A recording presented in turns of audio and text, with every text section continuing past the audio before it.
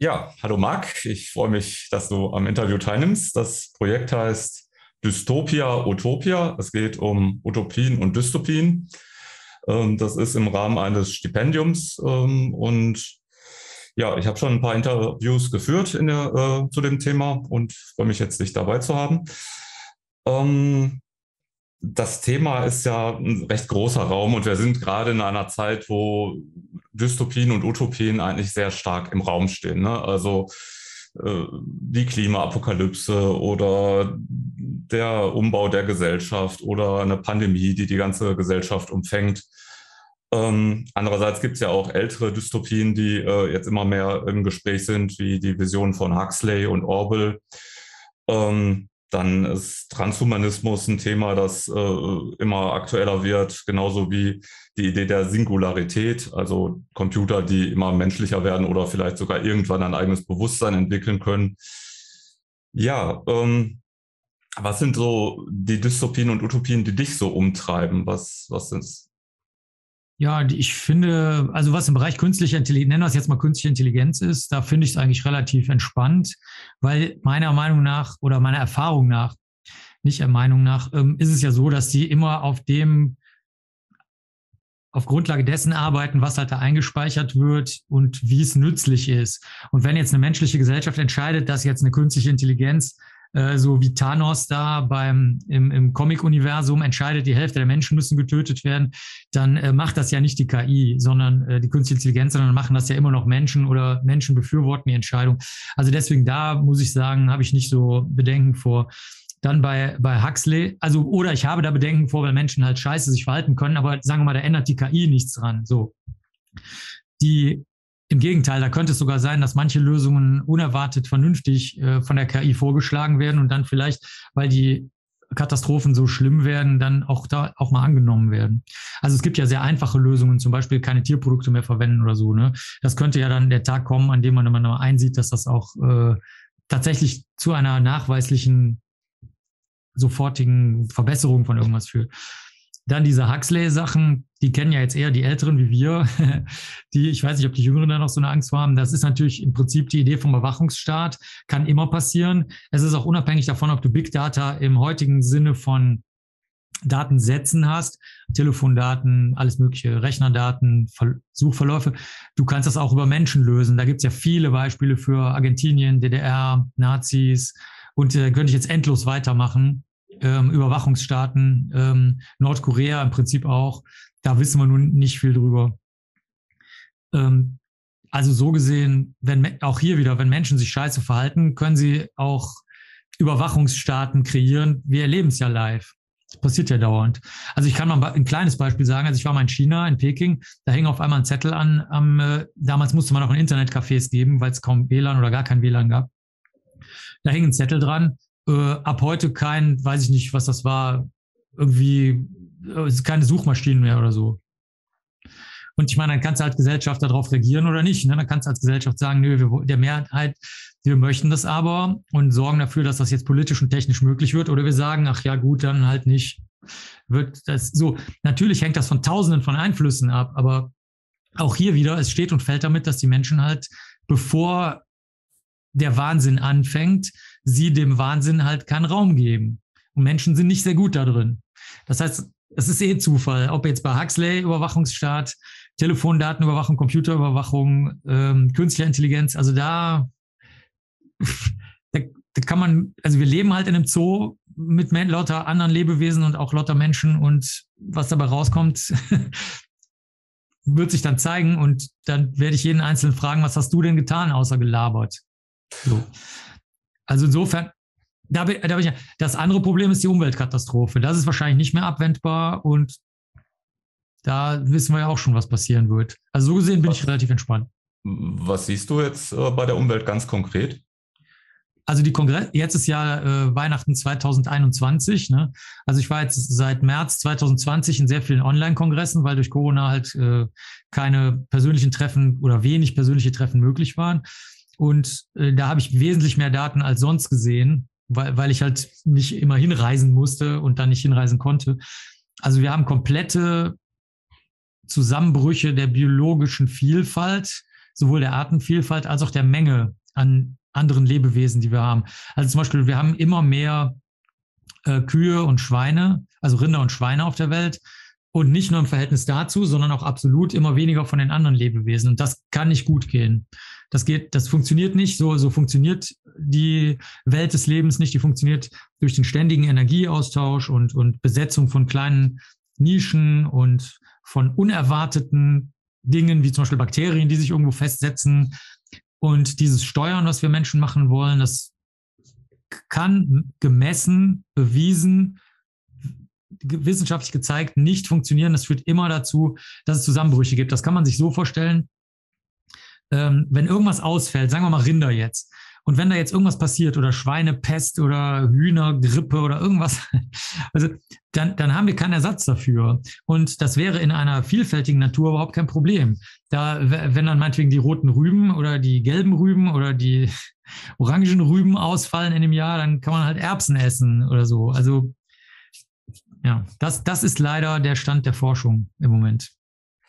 Ähm, also ist das größte Problem dann einerseits in deinen Augen der Klimawandel und dann aber auch eben diese Monokultur in der, ähm, ja, in der Tierhaltung im Grunde. Ja, die auch miteinander zusammenhängen, weil natürlich eine der großen Gründe, warum wir so viel CO2 ausstoßen, eben durch die Massentierhaltung und durch die Verwendung von tierischen Produkten überhaupt kommt. Also nicht nur durch Massentierhaltung, sondern überhaupt, dass wir Tiere verwenden, weil das ist halt super. Es, es verbraucht einfach mehr, als es zurückgibt in den Kreislauf des Lebens. Und ähm, andere Maßnahmen, die, die man jetzt nicht so leicht lösen kann, die finde ich jetzt aber auch nicht so primär dystopisch. Also das wäre natürlich, welche Art von Energie erzeugen wir. Ne? Also wenn wir Kohleenergie nehmen, haben wir mehr CO2. Wenn wir Atomkraft nehmen, haben wir zwar wenig CO2 oder gar keins, je nachdem, wie du es rechnest, aber dafür haben wir den äh, Müll und so. Das ist eine Sache, die muss, da muss man als Mensch mit leben. Das ist halt eine gesellschaftliche Verhandlung. Ich will warmes Wasser in der Dusche haben. Ich, äh, ich erzeuge die Hitze nicht, sondern ich möchte die auch durch einen Schalter oder durch einen Stecker oder durch einen Hebel haben. Okay, da, das muss man dann verhandeln. Aber das andere ist schon zu weit fortgeschritten. Also industrielle Landwirtschaft können wir uns nicht mehr leisten. Das ist nicht möglich. Ähm, Verwendung von Tierprodukten können wir uns nicht mehr leisten. Das ist nicht möglich. Machen wir aber. Das ist dystopisch. Also mit, mit voll sehendem Auge in den wissenschaftlich sehr gut untersuchten Wahnsinn zu rennen. Das finde ich dystopisch. Ähm, ist da nicht ein zentrales Problem auch tatsächlich die Überbevölkerung? Oder siehst du es in, im Sinne einer Misswirtschaft? Also meinst du, der Planet könnte noch sehr viel mehr Menschen unterstützen, falls man das auch als Wert an sich sieht? Ich meine, wir haben ja keine Wette laufen, wie viele Millionen Leute kriegen wir auf einen Planeten. Ja. Also es wird vielleicht dann interessant, wenn man irgendwann mal in der Lage ist, andere Planeten zu besiedeln. Aber solange man auf dieser Erde lebt, sollte man ja vielleicht eher ein gutes Leben für Menschen schaffen, anstatt zu gucken, dass man einfach unendlich viele Menschen erzeugt. Ja, das ist, eine, das ist eine wirklich gute Frage. Also das pendelt sich, soweit wir das jetzt sehen können, bei ungefähr 10 Milliarden grob ne, ein Menschen. Also in den äh, sonst sehr geburtenstarken Regionen passiert halt das, was auch in Industrieländern passiert ist in den letzten Jahren. Da nehmen dann halt die Geburtenzahlen ab. Also das wird sich da ungefähr einpendeln, soweit wir das jetzt bisher sehen können. Da gibt es auch schöne, eine schöne Webseite, The World in Data. Da kann man sehr viele überraschende Daten auch sehen. Also vieles ist gar nicht so dystopisch, wie es aussieht. Ja. Aber anderes dafür umso dystopischer. Ähm, da muss man immer die Daten angucken ähm, was du sagst, ist sehr weise. Also die, der, der planetare biologische Ra Kreislauf der Menschen unterstützen würde, der ist schon lange überschritten. Also ich will jetzt da keine bestimmte, Zahl sagen, aber da sind wir wahrscheinlich schon vier oder fünf Mal drüber, so jetzt mal grob. Ne? Aber damit müssen wir uns ja nicht befassen. Ich meine, du und ich, wir sind nicht Thanos, ne, der halt dann die radikale Maßnahme macht und die Hälfte der Bevölkerung auslöscht, Genau, sondern wir sind ja auch nur kleine Lichter und wollen auch nicht diejenigen sein, die ausgeknipst werden. Ja. Und dann sollte man eben die zweite Frage stellen, wie kriegt man es, wie du es gerade gesagt hast, ein vernünftiges Leben hin? Und dann sagen wir halt, okay, die Erde wird halt von Menschen jetzt gestaltet, vielleicht noch 100 Jahre oder so, so ist das halt. Und in den 100 oder 150 Jahren oder wie viel auch immer, ähm, möchten wir aber eben in Einklang mit der Natur nicht nur deswegen leben, weil das ein Ideal aus den 60er, 70er Jahren oder so ist, sondern weil wir sonst nicht überleben können, aus wissenschaftlichen Gründen. Und da stimme ich dir zu. Da wäre natürlich die Frage, wie können wir mit der Anzahl der Menschen, die wir dann halt haben, ähm, sinnvoll umgehen. Aber ich denke, das musst du zusammenbringen. Also jetzt die krasse Bevölkerungskontrolle, wie man sie in China gemacht hat, dass man sagt, okay, wir werden jetzt mal eine längere Zeit lang nur ein Kind pro Familie erlauben.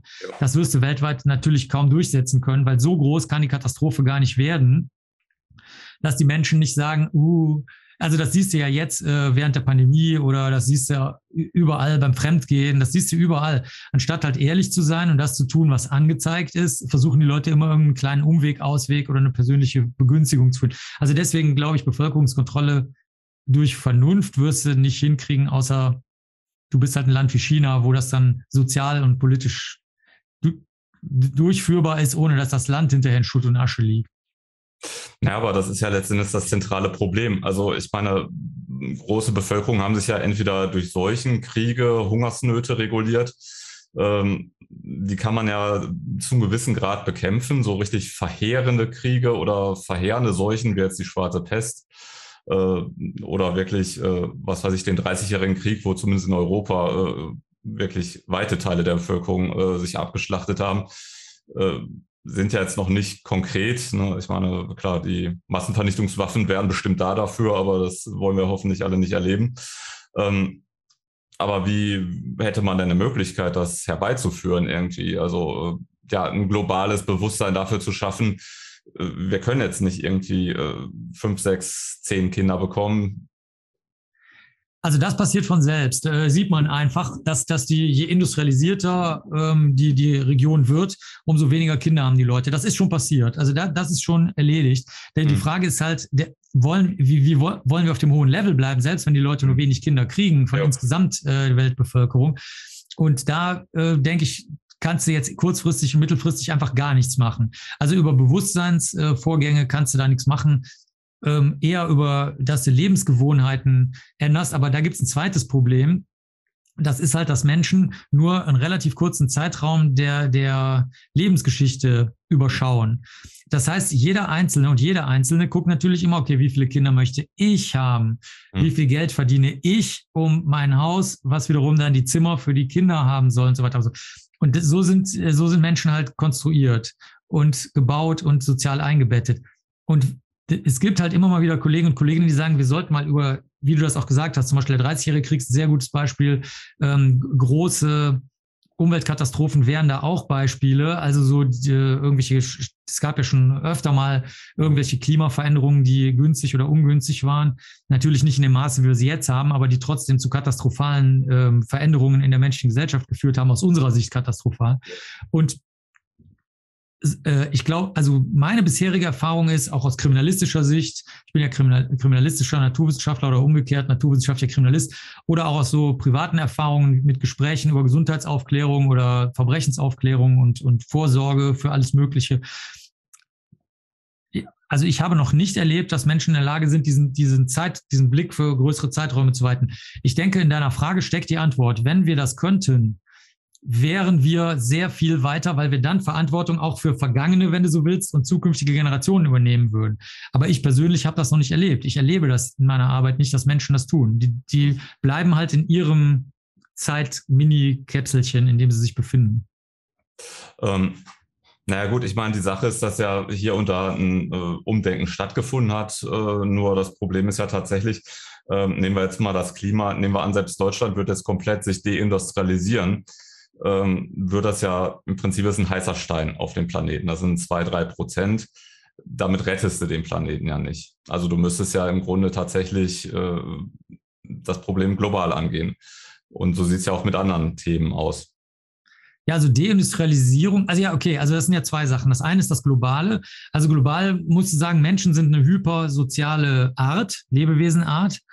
Und ähm, entweder das klappt dann oder nicht. Äh, die Landesgrenzen spielen eigentlich bei solchen Vorgängen geringe Rollen. Siehst du durch die Einführung von äh, Internetplattformen, die immer belächelt werden, ähm, Facebook, Insta, TikTok. Am, an, am Anfang wird es immer belächelt und am Ende entstehen dann internationale Verknüpfungen daraus. Ob die gut oder schlecht sind oder wie, das ist ja noch ein anderes Thema. Aber auf jeden Fall, jeder hat gedacht, also gerade bei TikTok jetzt zuletzt, ähm, dass das wird nicht international, das, das sind irgendwelche chinesischen Spionskinder, die tanzen mhm. oder so. Und die Wirklichkeit sieht vollkommen anders aus. Also es gibt tausende von Splitter-Untergruppen, äh, die sich international und sei es auch nur für einen Monat oder einen Tag vernetzen oder für immer. Also das, das liegt in der Natur der Menschen, dieses Hypersoziale. Also da würde ich mir gar keine Gedanken um das Globale machen. Die, äh, ich glaube eher die Frage ist, wie ist es mit Deindustrialisieren? Und soweit wir das wissenschaftlich bisher überschauen können, ist Deindustrialisierung gar nicht nötig, weil mit der hohen Anzahl der Menschen, also wenn wir jetzt wirklich bei diesen 10 Milliarden uns einpendeln, können wir das sowieso nur in einer äh, hochtechnischen Gesellschaft durchführen. Und da ist aber genau jetzt der, der Knackpunkt, weswegen das mit der Bevölkerungskontrolle tatsächlich ganz interessant ist. Wenn du es hochtechnisch machen willst, brauchst du natürlich eine sehr hohe Computerleistung. Diese sehr hohe Computerleistung verbraucht sehr viel Energie. Okay, jetzt könntest du natürlich versuchen, die Energie CO2-neutral zu herzustellen. Na gut, nehmen wir mal an, das würde klappen. Aber wo stellst du die ganzen Rechenzentren hin? Weil wenn, wenn uns die ganze Welt absäuft, und das tut sie, es gibt Stürme, es gibt Überflutungen, es gibt Meeresspiegelanstieg, es gibt äh, Grenzen des äh, Landes, was verfügbar sind. Da sehe ich ein echtes, so, so albern und nebensächlich das anhört, da sehe ich das eigentliche Problem. Wo stellst du deine Rechenzentren noch hin? In einer Welt, die random verwüstet wird, Infrastruktur schwächer wird oder was wir jetzt während Corona erleben, wo die Lieferketten abreißen? Das würde ich gerne mal wissen. Also da, da sehe ich das, sagen wir mal, am ehesten oder am schwierigsten unlösbare oder schwer lösbare Problem. In sowas ganz Banalem. Mhm. Weil, weil wenn das nicht mehr klappt, dann funktioniert auch die hypersoziale Art, wie wir miteinander umgehen, halt für die Generationen, die letzten zwei Generationen, die aufgewachsen sind, auch nicht mehr. Weil äh, die werden wohl kaum sich ums Lagerfeuer setzen und eine Friedenspfeife hin und her reichen, und das Ganze dann in langen Gesprächen über vier Wochen aushandeln. Ne? Das wird wohl nicht passieren. Na, der Punkt ist natürlich auch, dass äh, ich, ich sage jetzt mal in Europa und Nordamerika es ja tatsächlich Bewegungen gibt, die, die, äh, naja, so einen Konsumverzicht auch als Lifestyle vielleicht auch äh, in Ordnung finden ähm, und, und äh, da vielleicht auch sehr viel idealistisches äh, ähm, Engagement haben. Ähm, ist aber so, dass eigentlich äh, in, in den ganzen, ja, was, was früher als zweite und dritte Welt bezeichnet wurde, äh, die jetzt so nach und nach einen gewissen Lebensstandard erhalten, wie jetzt China, wo plötzlich äh, auch ja, wir wollen endlich mal jede Menge Rindfleisch essen oder solche Dinge. Oder, oder Afrika, die auch einen, einen Wahnsinnshunger an, an Konsum haben oder der arabische Raum. Ähm, ja, wie kriegt man denn da eine Überzeugung hin? Ja, dann letzten Endes auch ökologisch ein bisschen zu leben und nicht erstmal zu sagen, so, wir haben jetzt irgendwie ein paar Jahrhunderte Konsum nachzuholen. Gar nicht. Also ist, es gibt keine Daten dafür ähm, und keine Untersuchungen, die das stützen, dass du das machen kannst. Also, dass du irgendwie hingehen kannst und sagen kannst, ähm, ihr seid halt jetzt die Nachrücker aus kapitalistisch-industrieller äh, Sicht gesehen und jetzt sind wir aber einen Schritt weiter und jetzt müssen wir uns alle da einschränken. Also so kannst du auf keinen Fall ähm, reden, insbesondere weil ja der Konsumverzicht, den du angesprochen hast, der ist ja nur Fake. Also es ist ja nicht so, dass Menschen, dass die Menschen ähm, den, den tatsächlichen Konsumverzicht machen. Also ich kann mal ein Beispiel sagen äh, jetzt hast also im Lifestyle-Bereich meine ich jetzt, ne, den du angesprochen hast. Ja. Also im Lifestyle-Bereich hast du dann Leute, die sich zum Beispiel ähm, ohne Tierprodukte ernähren, aber da sind dann halt wieder, wie in den schlimmsten Zeiten, sind halt sechs Käsescheiben vegan in so eine Packung Plastik ja. reingepackt, was vielleicht, vielleicht abbaubar wäre, was aber in dem in den Städten, in denen das äh, stattfindet, aber nicht äh, in eine Umgebung gebracht wird, in der das in den normalen Naturkreislauf zurückgebracht werden kann, sondern da wird es einfach verbrannt. Äh, das ist dann halt die messbare Tatsache. Also deswegen halte ich das für, für unlösbar, was du da ansprichst. Also entweder das Bewusstsein durch das hypersoziale Miteinander reden und, und sozusagen im Internet teils auch aufwachsen, aber gleichzeitig auch örtlich aufwachsen und so. Ähm, entweder das, das ergibt sich durch, das ist quasi ein Evolutionsschritt, oder es ergibt sich nicht. Aber das, aber steuern kannst du das nicht. Also du kannst jetzt da keine Aufklärungskampagnen machen oder so. Das, das, warum, also warum sollte ich das machen? Sagen wir mal, ich sitze in Dubai. Das siehst du ja auch an diesen ganzen angeblichen Auswanderern und diesen ganzen Geschichten, die es da gibt. Und ähm, von Leuten, die dann in solche Umgebungen gehen, die sehen ja dann immer, wenn sie da hingehen, in erster Linie dort eine Gelegenheit, um ähm, mit dem im Rahmen der finanziellen, wirtschaftlichen, sozialen Bedingungen, die sie haben, sich auszuleben und auszubreiten ja. und, und gerade nicht in irgendeiner Weise auf Konsum zu verzichten. Also selbst die Leute aus der sogenannten, wenn du so willst, ersten Welt mhm. schaffen es ja nicht, irgendetwas aus dieser Vernunft und Messbarkeit mit in diese Regionen reinzunehmen. Also das werden die Leute selbst entwickeln oder nicht. Eine Möglichkeit wäre, wie es in Deutschland auch passiert ist, dass man sagt, okay, wir mögen unseren Boden und unsere Wälder und unsere Heimat und unsere Hirsche und unsere Luft und die Füchse und die Vögel und daraus leitet sich dann irgendwas ab. Aber ob das klappt oder nicht, ist eine andere Frage, weil in Deutschland hat man es gesehen, dann ist die Grüne Partei daraus entstanden. Die Ultrarechten haben dasselbe Ideal gehabt. Also mhm. da haben sich äh, rechts, links und wenn du so willst, auch große Teile der Mitte haben ja. sich getroffen. Da hatten sie, da hätte man sagen können, da haben wir eigentlich ähnliche Vorstellungen und haben sich dann stattdessen aber zerfleischt und darüber zerkriegt. über die ja. richtige Methode. Haben wir in Deutschland live erlebt. Also das musste natürlich den Leuten in anderen Regionen der Welt auch zugestehen, dass sie es halt einfach nicht gebacken kriegen. Ja, aber das würde ja bedeuten, man ist verdammt äh, dazu, vor die Wand zu fahren, global. Also das ist ja. jetzt wirklich ein sehr pessimistisches äh, Szenario. Ne? Ja, ich sehe das eher so wie in den ganzen Filmen, wo die Bremsleitung durchschnitten ist bei irgendeinem äh, mhm. kühnen Helden, der ja. dann also in sein Auto steigt und bergab fährt. Mhm. Dass ja, die Bremsleitung ist durchschnitten, ja, das Auto fährt bergab. Ich kenne mich mit Bremsleitungen überhaupt nicht aus, aber das okay, sagen die immer ja. nur in den Filmen so. Ja. Dann kann man das Auto irgendwie nicht mehr bremsen. Keine Ahnung, ob das stimmt. Und ähm, aber trotzdem gibt es dann halt äh, im Heldenfilm sozusagen eine Lösung, die du dir dann halt in dem Moment überlegen musst. Und ich denke, so ist das jetzt auch. Wir fahren jetzt, was die Naturkatastrophen angeht, auf Sicht. Das betrifft ja auch sehr stark die Stürme, also gar nicht nur die Feuer und die Überflutungen und so, sondern auch wirklich die Stürme, die einfach mal in den Regionen alles platt machen. Das heißt, wie im Heldenfilm oder Heldinnenfilm fährst du dann auf Sicht sozusagen und lässt dir was einfallen, weil gerade die ähm, Stürme, also die Überflutungen, das, das kann man ja noch grob abschätzen, wo besondere Gefahrengebiete sind. Aber bei den Stürmen wird das schon wesentlich schwieriger, weil das, weil ja die Gebiete sind einfach besiedelt. Und ähm, in einem Fluss kannst du versuchen, halt Flutmanagement und so weiter zu machen. Da gibt es auch schon Daten zu, wie man das macht, durch zwei, zwei größere Überflutungen, zum Beispiel im Rhein, wenn wir jetzt über Westdeutschland reden, mhm. oder ähm, auch in Dresden und so weiter. Also da ist schon bekannt, grob, was man machen kann. Und wenn man es dann nicht macht, okay, ja, das letzte Flugmanagement ist ja ziemlich schief gegangen in Deutschland. Ja, geht so. Nee, geht so. Es gibt auch, ja. es gibt auch Gebiete, die, die durch gemeinsame Gespräche, die was länger gedauert haben, dann doch äh, halbwegs geschützt wurden. Also das ist nicht ganz so scheiße, wie es jetzt aussah äh, durch okay. die Überflutungen 2021. Ja. Aber ähm, die Stürme sind meiner Meinung nach auch äh, irgendwie ein unterschätztes Problem, weil selbst die Brände könnte man auch durch sehr starke Eingriffe vielleicht ein bisschen managen, also breitere Brandschneisen und dies und das, also halt so mehr so technische Eingriffe. Die sind zwar scheiße, aber würden jetzt die Ausbreitung von den Feuern vielleicht äh, mit sehr viel Geld und sehr viel Aufwand ein bisschen verhindern. Das ist natürlich keine echte Lösung, aber, aber was willst du gegen Stürme machen oder so? Da, da, also da, da kannst du überhaupt gar nichts mehr machen, weil die Gebiete sind halt so besiedelt, dass du da jetzt auch nicht sturmfeste Gebäude bauen kannst. Und was auch noch dazu kommt, sind das ist ja im Moment gar nicht auf dem Schirm bei den Leuten, sind diese ganz großen Vulkanausbrüche, die auch jederzeit passieren können und die auch sehr, sehr starke Einflüsse auf ähm, die Umwelt und die Ernährungslage haben. Und wir wissen, was passiert, wenn Leute nichts mehr zu essen haben. Dann gibt's natürlich immer äh, richtig Beef. Also insofern muss man da, also jetzt, ab jetzt auf Sicht fahren.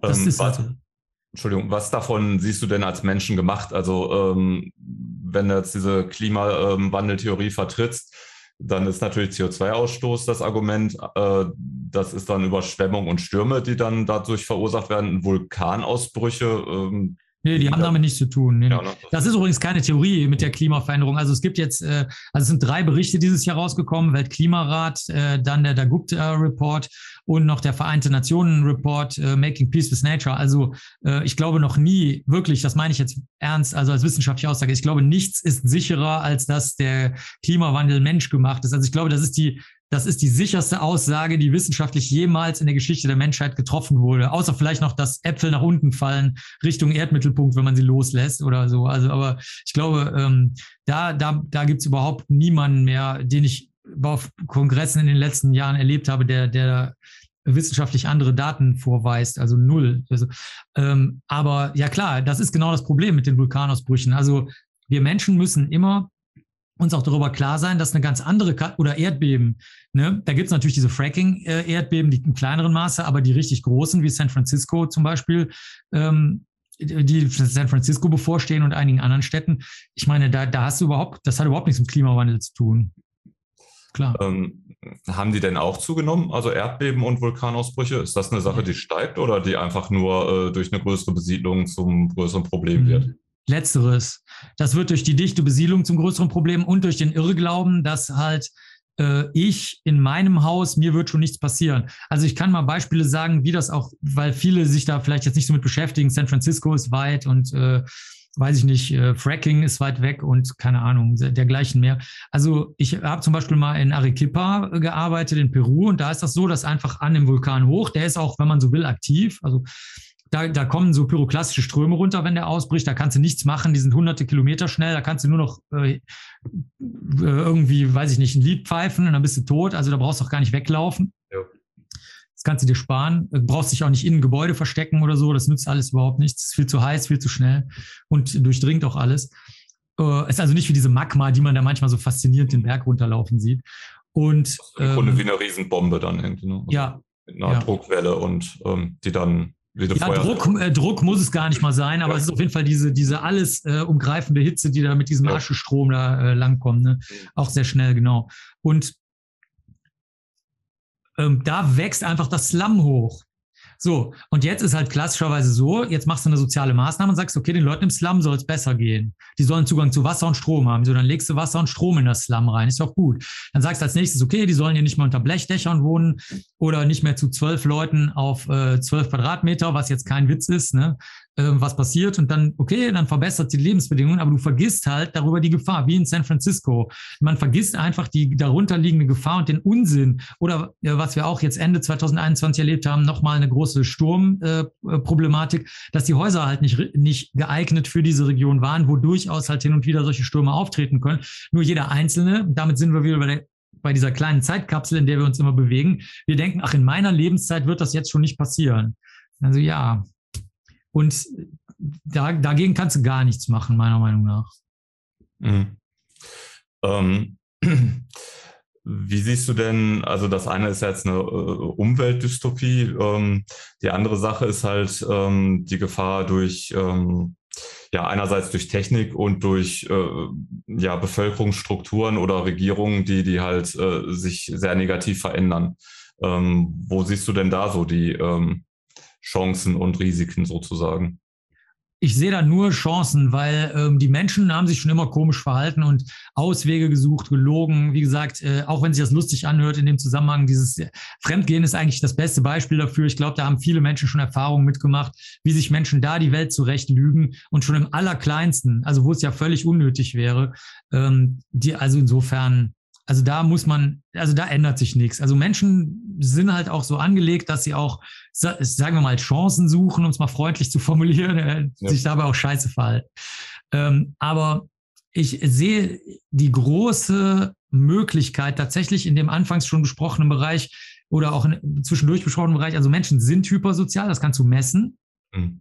Und sie sind gleichzeitig immer weiter vernetzt und verlieren, das sieht man jetzt auch so seit drei Jahren, finde ich ganz deutlich, äh, halt diese Grenzen, die mal wichtig waren, äh, aus historischen Gründen zwischen zum Beispiel Gender, das ist das bekannteste Beispiel vielleicht, das interessiert jetzt keinen mehr. Also du kannst dich darüber aufregen, dann bist du halt ein Opa oder so, aber äh, oder halt jemand, der sehr isoliert lebt oder jemand, der persönlich sehr schwach ist und dann andere Leute hassen muss, um sich aufzuwerten oder so. Aber im Großen und Ganzen, wenn du jetzt auf die unter, sagen wir mal, ja, unter 15-Jährigen guckst oder so, da interessiert das ja kaum noch jemand. Also die sind schon aufgewachsen in der Welt mit Comics, mit Filmen. Siehst du auch, wird, wird ja auch von den ganz großen Franchises, Marvel und so weiter, wird das ja massiv umgesetzt schon längst, ähm, weil die auch sehr viel jüngeres Publikum haben, dass da also alles, was man früher so als Ethnie, Gender oder bla, ich weiß gar nicht, alles das, was halt Opa äh, für bedrohlich und wichtig äh, fand, hielt, das löst sich auf. Also da sehe ich hauptsächlich die Chance. Weil aber da ist halt da, Entschuldigung, aber gab es da gerade bei den Comics nicht auch einen Backlash? Also dass erst quasi so Comics, die, die da ein bisschen offener waren und auch die Charaktere vertauscht haben, auch die Geschlechter vertauscht haben, äh, ja, dass an der Kasse eigentlich entschieden wurde, nee, das wollen wir eigentlich nicht. Also dass der Kunde da letzten Endes äh Schwer zu sagen. Also ich denke mal, dass ich also, in de, also ich kann nur mal sagen, worauf ich mich beziehe. Ja. Also wenn ich jetzt mal nehme ähm, Sachen wie, nehmen wir mal Ghostbusters, dann war Ghostbusters 1 ist halt so ein klassischer alter Film, wie, wie der in unserer Lebenszeit halt so war. Weiße Männer ja.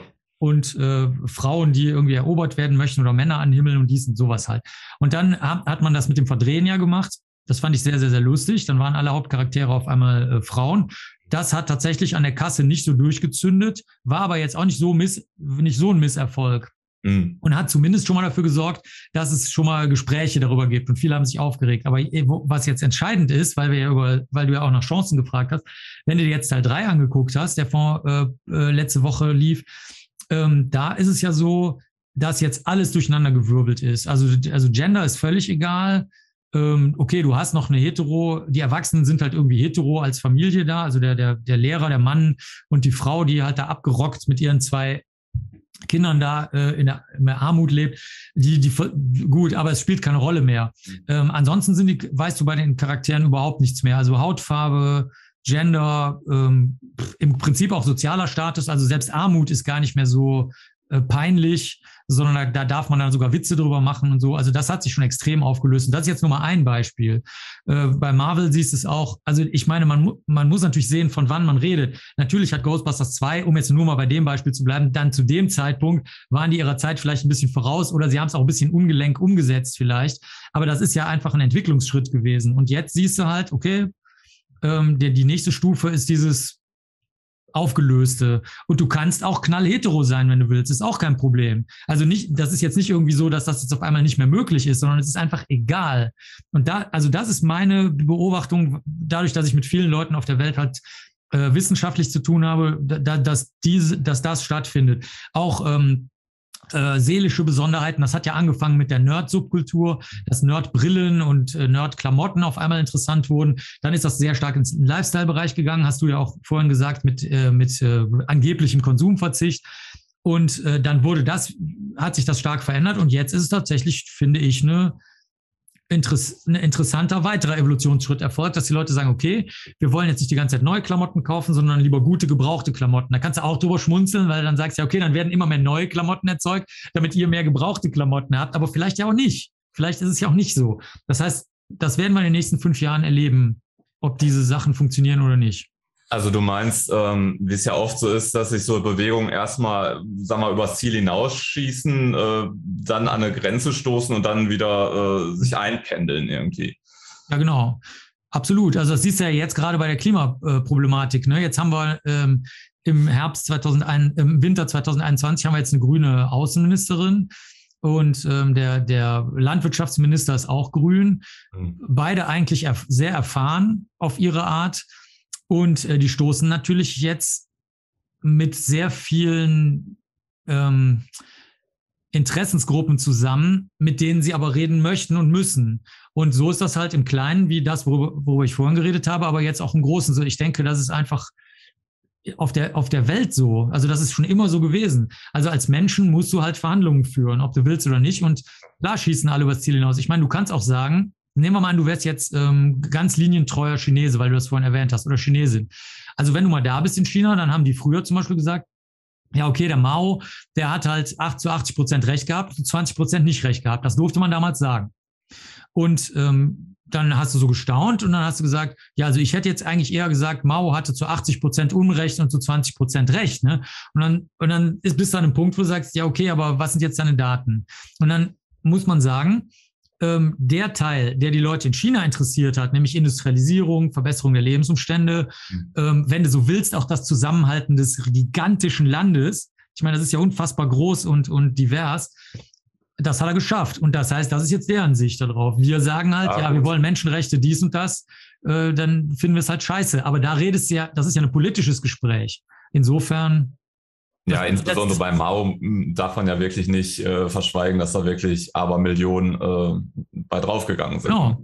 Genau, aber das, das sehen die halt teilweise nicht, weil die sagen, das mag ja sein, aber da sind wir wieder bei der Mini-Zeitkapsel, von der wir schon die ganze Zeit reden. Da sagen die, A, das betrifft mich nicht und B, meine Lebensbedingungen sind jetzt besser. Hm. Das heißt, da, natürlich finden wir das als Europäer empörend und falsch und unsinnig, aber die Datenlage ist jetzt abhängig von den Grundannahmen, die du machst und damit uninteressant. Das heißt, darüber, worauf ich hinaus will, ist, darüber brauchst du jetzt nicht reden, sondern ich, ich will sagen, du hast recht. Alles Mögliche schießt in alle Richtungen, auch in grausamster, katastrophalster, fürchterlichster, dystopischster, arschlochigster Weise mhm. übers Ziel hinaus. Aber trotzdem berappelt sich halt irgendwie, nämlich so, wie die wirtschaftlichen und klimatischen Bedingungen sind. Und das glauben Menschen halt immer, dass das nicht der Fall wäre. Ist es aber. Da gibt es auch zahlreiche gute Veröffentlichungen dazu über alle Schlachten, die geschlagen wurden in den letzten 200 Jahren, wie stark die gar nicht mal vom Klima, sondern vom Wetter abhängig waren. Dann ja. jeder, der sich mit Kriegsgeschichte beschäftigt, weiß, wie stark die Ernährungslage einen Einfluss hatte, als eigentlich einer der Haupteinflüsse. Ähm, oder Krankheiten eben auch solchen von dir angesprochen. Also so gesehen, es, es rappelt sich immer alles anhand dessen, wie es wirklich ist, zusammen. Das ist immer so. Also ist dein Ansatz letzten Endes, äh, ja, die Sachen einfach laufen zu lassen, weil es sich von selber einpendelt. Und aber du bist doch jemand, der dann doch eher aktiv werden möchte, oder? Genau. Also wenn du mich, genau, also wenn ich jetzt, wenn du jetzt jemand wärst, sagen wir mal, du wärst jetzt, äh, keine Ahnung, du würdest sagen, okay, der Markt, der, äh, der hat jetzt irgendwie Durchblick. Ne? Und ich mache das jetzt mal, was er sagt, weil ich dem vertraue. Dann würde ich schon mal als erstes sagen, vertraue keinem, weder mir noch dir noch sonst jemandem. Aber gut, wenn das jetzt deine Entscheidung ist, dann äh, kann ich dir sagen, was wissenschaftlich nachgewiesen wirksam ist. Ob das langfristig was hilft, ist eine ganz andere Frage.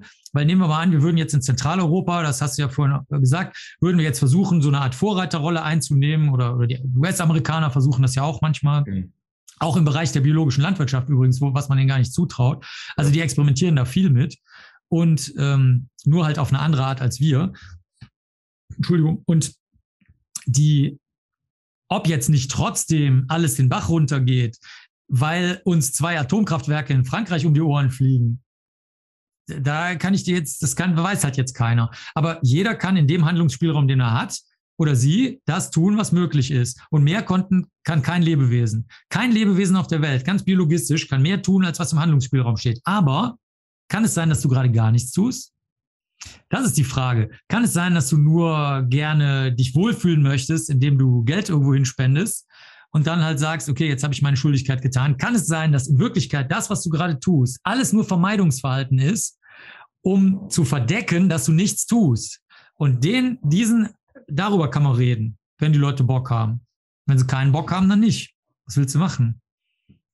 Naja, was wäre denn in deinen Augen die Sachen, die jedes Individuum tun kann oder vielleicht auch sollte? Also was sind so deine Empfehlungen? Da? Also wenn ich mal weltweit gucke und auch sehe, wie auch Naturzerstörungen gar nicht nur, was viele kennen in Brasilien mit dem Wald, sondern eben auch in Kolumbien oder vielen anderen Ländern passieren, durch Industrialisierung und auch durch Nichtzugang zu guten Techniken, sodass das dann halt eben mit schlechten Techniken gemacht wird, die dann eben noch mehr Umweltzerstörung erzeugen, dann würde ich sagen, also gut, das erste, da ist der persönliche Handlungsspielraum verschieden, ist, dass, dass man dafür sorgt, dass es demokratische Verhältnisse gibt, die dafür sorgen, dass neue Erkenntnisse sich überhaupt politisch umsetzen lassen. Das haben wir jetzt bei der Bundestagswahl in Deutschland sehr gut gesehen im Herbst, Winter 2021. Da hat sich eine komplett neue Art der, des wissenschaftlichen Einbringens in die Politik, einerseits vom, vom wirtschaftlichen Bereich, durch die Partei, die eher so wirtschaftlich orientiert ist, als eben auch durch die ähm, durch eine Partei, die schon ganz abgeschrieben war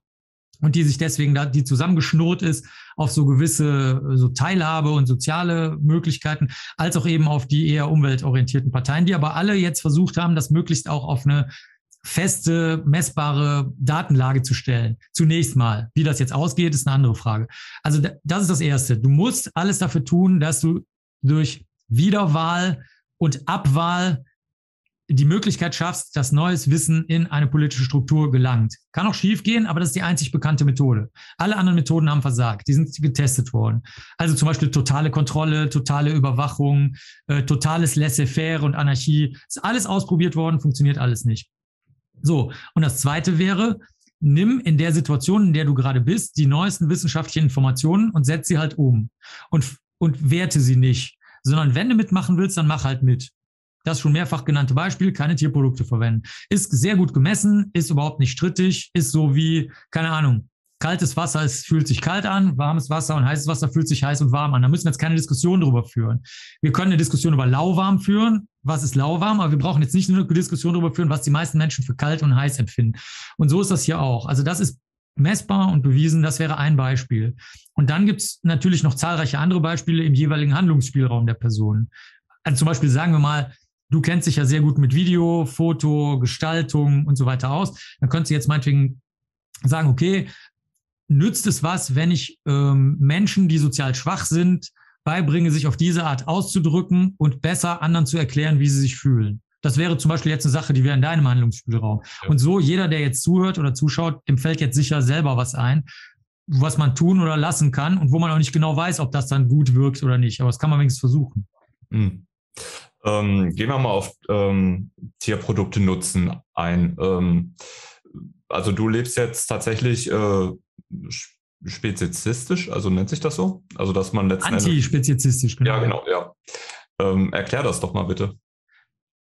Ja, also die, die moderne, ich, ich gehe mal nur auf den Stand heute ein. Ja. Also die moderne Idee ist, dass Lebewesen, ähm, wie, die wir so auch als Versuchstiere verwenden oder auch so als reine Gebrauchstiere irgendwie. Zum Beispiel der Klassiker wäre früher auf dem Land gewesen, im Ruhrgebiet, in Sachsen, in Thüringen, in vielen Regionen. Da hast du halt Kaninchen, die streichelst du, solange du sie streicheln willst. Und wenn du sie aufessen willst, dann drehst du den Hals um und isst die auf. Das war so wie, da regt sich, da hat sich keiner drüber aufgeregt. Außer vielleicht ein Kind, was ein Kaninchen besonders mochte und ja. dann lebenslang traumatisiert war oder so. Aber sagen wir mal, sozial war das eingebettet. Und ähm, diese Lebewesen, das ist jetzt mittlerweile sehr, sehr gut untersucht. Ähm, da gibt's also da gibt's wirklich Tausende und Abertausende von Veröffentlichungen zu, auch gute deutsche Bücher dazu, ähm, sehr, sehr ausführliche Bücher. Die haben halt alle Schmerzempfinden, die haben alle Bewusstsein, die haben alle Sozialverhalten, also auch Fische, die halt nur keine Mimik haben, weil sie halt keine Mimik haben. Ja. das heißt aber nichts.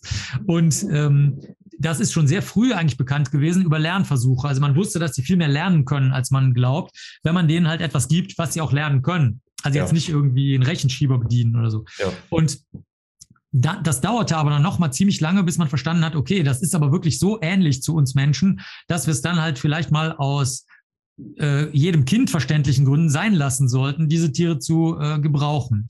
Und der Stand heute ist, das ist jetzt das, was eben was viele halt für ungewohnt halten. Also wer das jetzt hört, wird jetzt sagen so, hä, jetzt hat er den Verstand verloren. Das ist aber auf jeden Fall, das kommt auf jeden Fall, das wird auf jeden Fall kommen. Hört sich halt jetzt nur noch ungewohnt an. So wie, oh, wir werden eines Tages auf dem Mond sein. Ja, ist klar, Marc. Ne? Mhm. Und jetzt so, äh, ja, es gibt Weltraumtourismus. Ne? Also es dauert halt ein paar Jahrzehnte manchmal. Aber der Stand ist, also Tiere, die für Menschen arbeiten, also Blindenhunde und so weiter, Bombenentschärfungskommandohunde und dergleichen, die kriegen halt gewisse Rechte. Das heißt, denen wird zugesprochen, dass sie dann halt auf jeden Fall, wenn sie alt werden, in so eine Art Pension oder Rente oder sowas gehen können. Mhm. Das ist das eine. Dann das zweite ist, hier Versuche finden nur noch dann statt, wenn es auf gar keinen Fall anders geht und das aber auch bewiesen so ist. Also nicht nur, weil die Leute faul sind oder keinen Bock haben, die anderen Techniken zu entwickeln in Zellkulturen, die gibt es nämlich alle schon. Die, also im großen Umfang gibt es das schon. Also meinst ähm, künstliche Nahrung? Künstliche Zellkulturen, wo man dann das testen kann, was man sonst in Tierkulturen so, getestet okay, hätte. Also ja. es geht um Tierversuche, ja. Ja, ja. Also man ähm, züchtet irgendwie eine Leber oder sowas und probiert das. Ja, genau. Oder, oder nee, mittlerweile wird es auf Mikrochips gemacht. Da brauchst du gar nicht ja. mehr die ganzen Organe züchten. Ja. Ähm, das äh, und so weiter. Und das auf jeden Fall, also der, der, der beweisbare die beweisbare Notwendigkeit, dass die, dieser Tierversuch wirklich nötig ist und nicht einfach nur aus Behäbigkeit stattfindet, weil das andere nicht entwickelt wird. Und das Dritte ist dann eben einfach der Verzicht auf Tierprodukte, weil die zu viel Ressourcen auf der Welt verbrauchen, insbesondere Wasser, Land, dann CO2-Herstellung. Das sind so die drei Sachen, die der Stand der Dinge sind und die auch äh, sehr gut untersucht sind, auch wenn sich das für viele ungewohnt anhört oder man denkt so, hm, stimmt das wirklich? Wieso habe ich davon noch nichts gehört und so.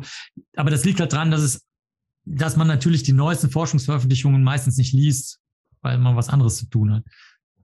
Naja, aber die Frage ist auch da, äh, wo fängt man an, wo hört man auf? Also es ist ja so ein bisschen so, ähm, wie soll man sagen, wir streicheln den Hund und essen die Kuh oder beziehungsweise genau. eben nicht. Aber ähm, so, wie es dann mit Fischen, wie es mit Insekten, also viele Alternativen gehen ja in Richtung, okay, wir machen jetzt Nahrung aus Insekten oder sowas, ne? Oder wir züchten halt künstliches Fleisch irgendwie.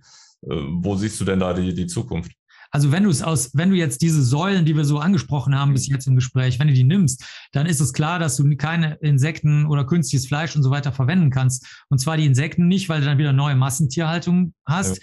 Da brauchst du wieder dann alle möglichen Medikamente, Gifte, Landverbrauch, Wasserverbrauch. Da bist du wieder genau da, wo du bei der Hühnerzucht bist. Du hast am Ende wieder eine katastrophale Sache. Okay, mag sein, dass die Insekten weniger äh, Bewusstsein, weniger Leiden aus menschlicher Sicht haben. Mhm. Das ist mir ehrlich gesagt in dem Fall an der Grenze zu egal, weil ich sowieso weiß, dass es Bullshit ist aus energetischer Sicht, also aus Wasser, Landverbrauchssicht. Also da zerstören wir uns dann weiter unsere Welt. Das, da brauchen wir über die Tierrechte, wenn du so willst, gar nicht reden, weil mit oder ohne Tierrechte ist das keine Methode. Und die Zucht von diesem Fleisch ähm, verbraucht auch so viel Energie, dass die auch sinnentleert ist. Wenn du dich an den Forschungsstand begeben möchtest. Nochmal, ich rede nicht über Meinungen. Meinung kann ja. jeder und jede haben, wie sie will. Ich rede ja. nur von den, von den Daten, die bekannt sind. Und da kommst du mit der Fleischzucht auch nicht weiter. Ich sage mal ein Beispiel aus dem Labor, was vielen vielleicht nicht bewusst ist. Wenn du jetzt gerade so Fleischzellen, ähm, die dann auch echtes äh, Muskelgewebe und sowas darstellen, wenn du die wirklich züchten willst, musst du eine super, mega saubere Umgebung haben, weil du hast ständig Bedrohung durch Bakterien, Viren, Schimmelpilze und so. Und alleine das sauber zu halten, das ist Also jeder, der mal versucht hat, Zellkulturen zu äh, züchten, der weiß, das ist fürchterlich. Alleine schon, wenn du das in so äh, 50 kleinen liegenden Fläschchen machen willst und wenn du das dann industriell mit, mit ähm, Nahrungsmitteln machen willst, da kannst du es meiner Meinung nach komplett vergessen. Energetisch Gut, ist das nicht, nicht zu stemmen. Ja, aber wo siehst du denn dann die Chance, so viele Milliarden Menschen äh, zu ernähren? Das ist kein Problem, die zu ernähren, pflanzlich. Du kannst problemlos die Weltbevölkerung pflanzlich ernähren. Du musst dir vorstellen, wenn mal nur Soja und solche anderen großen Ernährungsgruppen, Kichererbsen, Mais, ähm, Weizen, Dinkel, so, also alles, was so wirklich richtig was ausmacht. Also wovon ja. wir richtig als Grundlage der Ernährung reden. Ja. Ähm, davon könnte, davon wird der Großteil zu, ähm, in, an Tiere verfüttert. Das heißt, der ja. ist dann weg. Und der Großteil des damit einhergehenden Wassers ist auch weg. Also so, man kann so als, als Daumenregel, kannst du sagen, Faustregel, ein Hamburger Patty aus Rindfleisch verbraucht einen großen neben dir stehenden Sack 20 Kilo, 25 Kilo Getreide. Von dem Wasser brauchen wir, also das Wasser, da wollen wir gar nicht mit anfangen. Ja. So, jetzt jeder, der schon mal mit Getreide was gemacht hat, weiß, wie viele Hamburger Patties du aus einem 20 Kilo Sack Getreide machen kannst, nämlich unzählige sozusagen. Mhm. Äh, also da sieht man schon, also will ich jetzt ein Patty draus machen oder unzählige? Energiegehalt derselbe. Mhm. Also das heißt, da siehst du schon, dass das ganz einfach wäre. Das heißt, sagen wir mal, die Wunschfee würde kommen und die Menschen würden die von dir genannte Einsicht haben, dann hättest du äh, von heute auf morgen, hättest du 70 Prozent der Landfläche werden frei. 80 oder noch mehr, weiß man nicht genau, Prozent des Wassers werden frei, je nachdem, welche Pflanzen du anbaust. Es gibt ja auch Pflanzen, die mehr oder weniger Wasser verbrauchen. Aber auf jeden Fall mindestens 60 Prozent, also das ist ganz sicher, oder 70 Prozent des Wassers werden wieder verfügbar. Das können Leute dann trinken zum Beispiel was ja auch ein Riesenproblem ist. Oder man kann es wieder in Flüssen ganz normal äh, verwenden, die eben nicht industriell verwendet werden, für Fischzucht oder sonst irgendwas. Ähm, und äh, du, du hättest das Ernährungsproblem sofort gelöst. Also wenn du es jetzt rein rechnerisch, du hättest also, jetzt die Frage ist natürlich, ob wir den Leuten das, die Nahrungsmittel geben wollen oder so, aber ähm, das, ist, das ist überhaupt kein Problem. Dieses Problem gibt es nicht. Das ist ein von Menschen erfundenes Problem. Ähm, wie würde man es dann machen bei, bei fleischfressenden Tieren? Also sagen wir, man hätte jetzt einen Hund, äh, der wird ja auch Fleisch haben wollen. Oder äh, ne, ja, genau, da gibt es viel, ja, da hast du recht, da, da, Katzen auch, ne? Mhm. Ja, genau, da gibt es viele Ansätze. Also ähm, da hängt auch sehr davon ab, sagen wir mal, wie groß du das Problem siehst. Also ich persönlich halte das Problem für sehr gering, mhm. weil ähm, diese Tiere könnte man vielleicht auch noch mit anderen Tieren und sei es jetzt nur Tiere, die sterben oder so, mhm. füttern, aber da, da müsste man natürlich die Anzahl der Tiere runterfahren, das ist schon richtig. Aber sagen wir mal, das würde man nicht machen, weil du die Diskussion nicht führen willst. Ja, du willst den Leuten jetzt nicht ihre Miezen und ihre Wufis wegnehmen, ja. sonst gibt es den nächsten Bürgerkrieg. Also gut, ähm, also das halte ich für lösbar. Äh, du kannst die Tiere, gerade Hunde, Mhm. Kannst auf jeden Fall auch pflanzlich äh, sehr gut ernähren. Das ist, das ist gut untersucht. Da gibt es auch viele Beispiele von Leuten, die das machen. Also du kannst ähm, einen Hund pflanzlich gesund ernähren. Ja, aber ja, Katzen haben das größere Problem. Für Katzen ja. ist das ein viel größeres Problem. Okay. Ähm, aber da könnte man auch fragen, ob man in einer intakten Umwelt, zum Beispiel jetzt gerade was die Katzen angeht, ob du die nicht wieder einfach Mäuse fangen lässt oder so. Ja. Ne? Da kannst du wieder fragen, möchte ich die draußen rumlaufen lassen, weil die die ganzen Singvögel töten? Aber das, da, das wäre schon mal gut, weil dann wärst du im Gespräch darüber, wie viel du in die Natur eingreifen willst, wie viel du nicht eingreifen willst oder ob du bestimmte Gebiete einfach abzäunst. Einfach ganz streng abzäunst und dann dürfen dann auch Hunde und Katzen nicht rein und du sorgst auch dafür, dass es wirklich passiert und laberst nicht nur. Ja, das ist aufwendig, aber ja, das geht schon. Ne? So, also und sei es, indem du deine Katze und deinen Hund einen Chip zum Tracking äh, einbaust und einfach mal guckst, wie weit die wirklich laufen. Vielleicht laufen die ja gar nicht weit weg. Und andere haben halt mega Bock darauf, laufen weit weg. Dann musst du da halt dann überlegen, was du machst. Ob du die dann eben in eine andere Umgebung bringst oder einzollst. Und dann bei Rindern, Schweinen und so weiter, da, das ist klar. Also alle Tiere, die hochgradig auf die Ernährung von Menschen mit Fleisch gezüchtet sind, die diese Lebenslinien musst du auslaufen lassen, was aber ein Segen für die Tiere ist, weil wer schon mal Puten gesehen hat auf dem Lebenshof, da gibt's auch Videos, wenn du willst, kannst du die auch verlinken von mir, ähm, oder auch äh, andere Lebewesen, die sind halt ähm, gar nicht dafür gebaut, älter zu werden. Also die, die, die brechen unter ihrem eigenen Körpergewicht zusammen. Also meinst du, sie sind gar nicht dahin gezüchtet, älter zu werden? Genau, die, die sollen früh geschlachtet werden. Ja. Und das heißt, diese Lebenslinien müsste man fairerweise dann auf Lebenshöfen auslaufen lassen. Also da ja. würdest du sagen, okay, die, die äh, kastrieren wir oder was auch immer man da machen möchte. Und äh, diese äh, Tiere, die jetzt eigentlich unter ihrem eigenen Leben leiden, den, den, also das wäre jetzt meine Technik, ja. die lässt man so wie sie halt sind, zu Ende leben. Das können wir nicht mehr ändern, aber mhm. versuchen ihnen ein gutes Leben zu geben. Das sieht man auf den Lebenshöfen auch. Das funktioniert, finde ich, auch sehr, sehr, sehr gut. äh, sozusagen würdevoll, würde man vielleicht sagen. Ich würde das biologisch den Begriff nicht verwenden, aber einfach so, dass sie das bestmögliche Leben noch haben, was sie haben können. Und danach sollen aber diese Linien nicht weitergeführt werden, weil das halt eine endlose Qual für die Tiere ist. Mhm. Aber das wäre eine von vielen Möglichkeiten. Ich halte es aber im Gesamtzusammenhang in, in der, zu der Frage, was Menschen tun können, für nicht so ähm, vorrangig, weil mhm das kriegst du dann in einer Gesellschaft, die sich entschieden hat, vernünftig zu leben, so dass unsere Lebensgrundlagen erhalten bleiben, kriegst du das Problem, glaube ich, in Gesprächen so gelöst, dass alle zufrieden sind mhm. oder die meisten zufrieden sind. Aber das größere Problem ist, die Menschen müssen sich erstmal vernünftig verhalten, sozusagen, wenn du so willst, für sich selbst und einsehen, dass sie das nicht ohne den Rest der Natur können. Wenn der Schritt erstmal vollzogen ist, dann denke ich, der Rest, den kriegst du dann schon besprochen. Naja, das klingt schon wie ein episches Projekt. Ne? Also, äh, dass du das wirklich global äh, vermittelt bekommst. Also, das äh, bist du wieder im Bild? Okay, stockte gerade. Ja, ich bin, ja, ja, ist wieder ja. aufgefrozen, ja. Alles gut.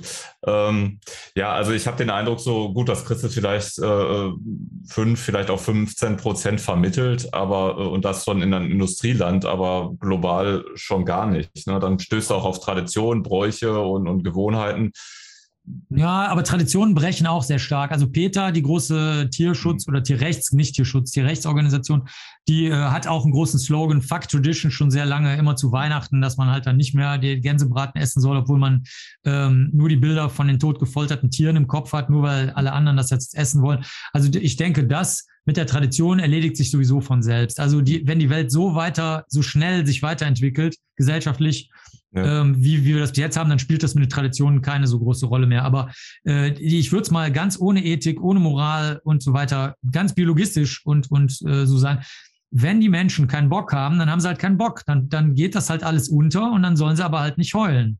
Ganz mhm. einfach. Und das meine ich nett. Ich meine ja. das wirklich nett. Das ist wie wenn einer Kette raucht und er hat COPD kennt, glaube ich, jeder so jemanden. Äh, äh, oder zumindest, wenn, wenn ihr was älter seid, die Jüngeren jetzt vielleicht nicht, aber wir, wir Älteren kennen garantiert alle so jemanden. Oder Alkoholiker und Alkoholikerinnen, die halt eigentlich das schon die Einsicht haben, aber sagen, ist mir jetzt auch egal, mhm. äh, mein Leben ist sowieso zerfallen. Und dagegen kannst du nichts machen. Also wenn die Leute in diese, in diese ähm, Suizid, in diesen Suizidmodus kommen, mhm. da kannst du nichts gegen machen. Also das, dann, dann geht halt die Kult, dann gehen halt die Kulturen, die wir kennen, unter. Ist ja nicht das erste Mal. Ist ja nicht so, als ob das nicht schon oft passiert wäre. Also mhm. insofern. Ähm, das von dir ähm, besprochene, äh, ähm, ja, das Interesse an Tierwohl, ähm, ist das auch äh, in verschiedenen Religionen unterschiedlich ausgeprägt? Also ist das ein christliches Phänomen? Ist das ein, äh, oder ist das äh, auch im muslimischen Raum oder im jüdischen Raum verbreitet oder ist das ein rein christliches Phänomen? Nee, das ist ein oder, Problem oder in allen Religionen. Nee, nee, das ist eine gute Frage. Also das, das, das ist in allen Religionen ehrlich gesagt ähnlich schwierig. Mhm. Also ich habe zum Beispiel mal in Indien gearbeitet und ähm, da hast, also da war das so, dass zumindest vegetarische Speisen oder so, die, das muss, das war überhaupt nicht gekennzeichnet. Das, es gab überhaupt, es gab nicht einen einzigen Laden, wo es keine vegetarischen Sachen gab. Ja. Das kommt daher, weil man gesagt hat, wir wollen den Tieren ein bestimmtes Wohl sozusagen zufügen. Nur die benutzen halt Käse und Milch und sowas. Ja. Oder Käse hauptsächlich. Das ist so eine bestimmte Art von Käse. Ja. Äh, nicht so, wie wir den kennen, aber anders. Und ähm, da ist das eigentlich durchaus, sagen wir mal, philosophisch. Also mhm. die sagen ja selber oft auch, das ist keine Religion, sondern philosophische ja. Strömung. Also einigen wir uns mal drauf, es ist eine gesellschaftliche Einstellung so. Also eine, eine bindende gesellschaftliche Einstellung. Aber du findest natürlich überall dann das von dir auch schon angedeutete Problem, dass die Leute sagen, ja, okay, verboten ist es ja nicht. Mhm dann kann ich ja, wenn ich jetzt Zugang zu größerem Luxus haben möchte, also ein Steak mit äh, einer bestimmten Salzsorte und einem Goldüberzug, dann möchte ich das jetzt halt haben, weil sowas soll's. Und das kann natürlich immer passieren, unabhängig von der Religion oder von der Glaubensgemeinschaft oder von dem, was du glaubst, was du glaubst, weil auch meine Erfahrung ist weltweit, Menschen benehmen sich halt nicht so, wie sie es behaupten. Also äh, das kann jeder mal selber ausprobieren, der hier zuguckt oder zuhört. Geht mal mhm. zu euren Eltern, sag mal, pass auf, Mama, Papa oder Oma, Opa, erzählt mir mal in zehn Minuten die, die, die wichtigsten Grundlagen eurer Lebensentscheidungen. Ja. Und dann könnt ihr ja mal prüfen, sofern ihr Zugang dazu habt, ob sie das überhaupt durchgezogen haben in ihrem Leben und dann werdet ihr feststellen, wahrscheinlich an entscheidenden Stellen nicht. Mhm. Und das ist in jeder Glaubensgemeinschaft so. Natürlich auch. Die Leute sagen dann halt, okay, das und das äh, verbietet uns der Glauben, zum Beispiel jetzt Schweinefleisch zu essen. Mhm. Äh, das passiert dann auch vielleicht, aber dann machen sie halt irgendwas anderes, äh, essen anderes Fleisch. Oder die, die, die Fremdgeh-Problematik, die ich hier immer so als, als scheinbar harmloses Beispiel nehme, ähm, ist bei Alkohol dann bekannt. Es gibt viele Religionsgemeinschaften, wo angeblich kein Alkohol getrunken wird, machen sie dann aber doch, wenn mhm. keiner hinguckt. Christen, bei Christen kennt man das auch, Fleischkonsum ähm, zu Fastenzeiten, wo dann Biber, mhm. die Tiere oder Schnecken oder irgendwas anderes dann einfach oder Fische als mhm. nicht Fleisch erklärt wurden, im katholischen Raum sehr, sehr weit verbreitet. Ja. Insofern äh, ist eigentlich uninteressant. Also ich finde, die Religionen spielen da überhaupt gar keine Rolle. Also die sind, die sind raus. Die Religionen haben ihre Untauglichkeit mehr als bewiesen. Mhm. Also das, die, die kannst du, also weil Menschen so sind, wie sie sind und weil die Religionen nur eine Ausformung dessen sind, wie Menschen ja. sind, sind sie, spielen sie keine Rolle bei der mhm. Problemlösung. Ja. Ähm, ja, die Frage war in die Richtung, ob da, ob da große Unterschiede sind. Aber letzten Endes würdest du sagen, so ein, äh, also dass dieses äh, große Interesse am Tierwohl eher ein atheistisches Phänomen ist, wenn du so willst, oder? Ah, noch nicht mal, leider. Ja. Äh, ah ja, ich verstehe, was du meinst. Äh, ja, nee, nee. Also leider ist es auch so, dass du im Bereich von Agnostik, Atheismus, äh, Religionsfeindlichkeit, Religionsfreiheit, ähm, Anarchie, äh, egal was du da nimmst, ähm, da bohrst du ganz dicke Bretter. Also ich, ich rede ja auf solchen Kongressen auch. Ja. Also ich bin ja sowohl Redner bei sehr strukturkonservativen Organisationen als mhm. und sehr alten, als auch bei sehr jungen, sehr linken, alles Mögliche. Mhm. Und ähm, also das, also gerade im Naturschutzbereich, gar nicht jetzt zum Tierschutz und Tierwohlbereich, mhm. sondern im reinen Umweltschutzbereich, da bin ich der, da bin ich der, der Freak. Ich mhm. halte regelmäßig, sind auch im Netz, kann, äh, kannst du eventuell auch verlinken. Ähm, ich bin regelmäßig der, der bei Umweltschutzorganisationen sagt, also zwei Sachen verstehe ich nicht.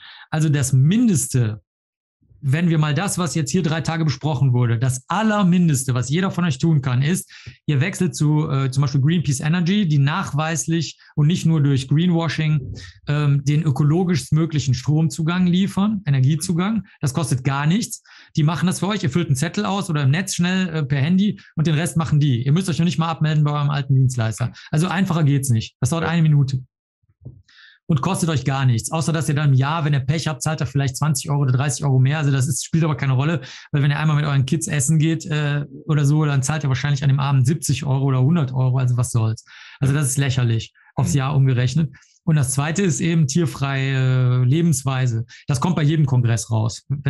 Und ähm, selbst die Umweltschutzorganisationen kriegen das nicht hin. Mhm. Also deswegen, da brauchst du, deswegen also Religionen machen keinen Unterschied, aber auch die anderen möglichen Einstellungen und leider eben auch Atheismus und so weiter nicht. Du hast natürlich häufig dieses Zusammenspiel von Umweltschutz und ähm, Atheismus. Du hast aber auch im ultrakonservativen Bereich sehr starke Umweltschutzbestrebungen. Ich glaube, man muss auch sehr stark unterscheiden zwischen Tierwohl, Wissenschaft erstens, zweitens den wissenschaftlich bekannten äh, Methoden und drittens Umweltschutz. Die diese drei Bereiche berühren sich häufig überhaupt gar nicht. Ja.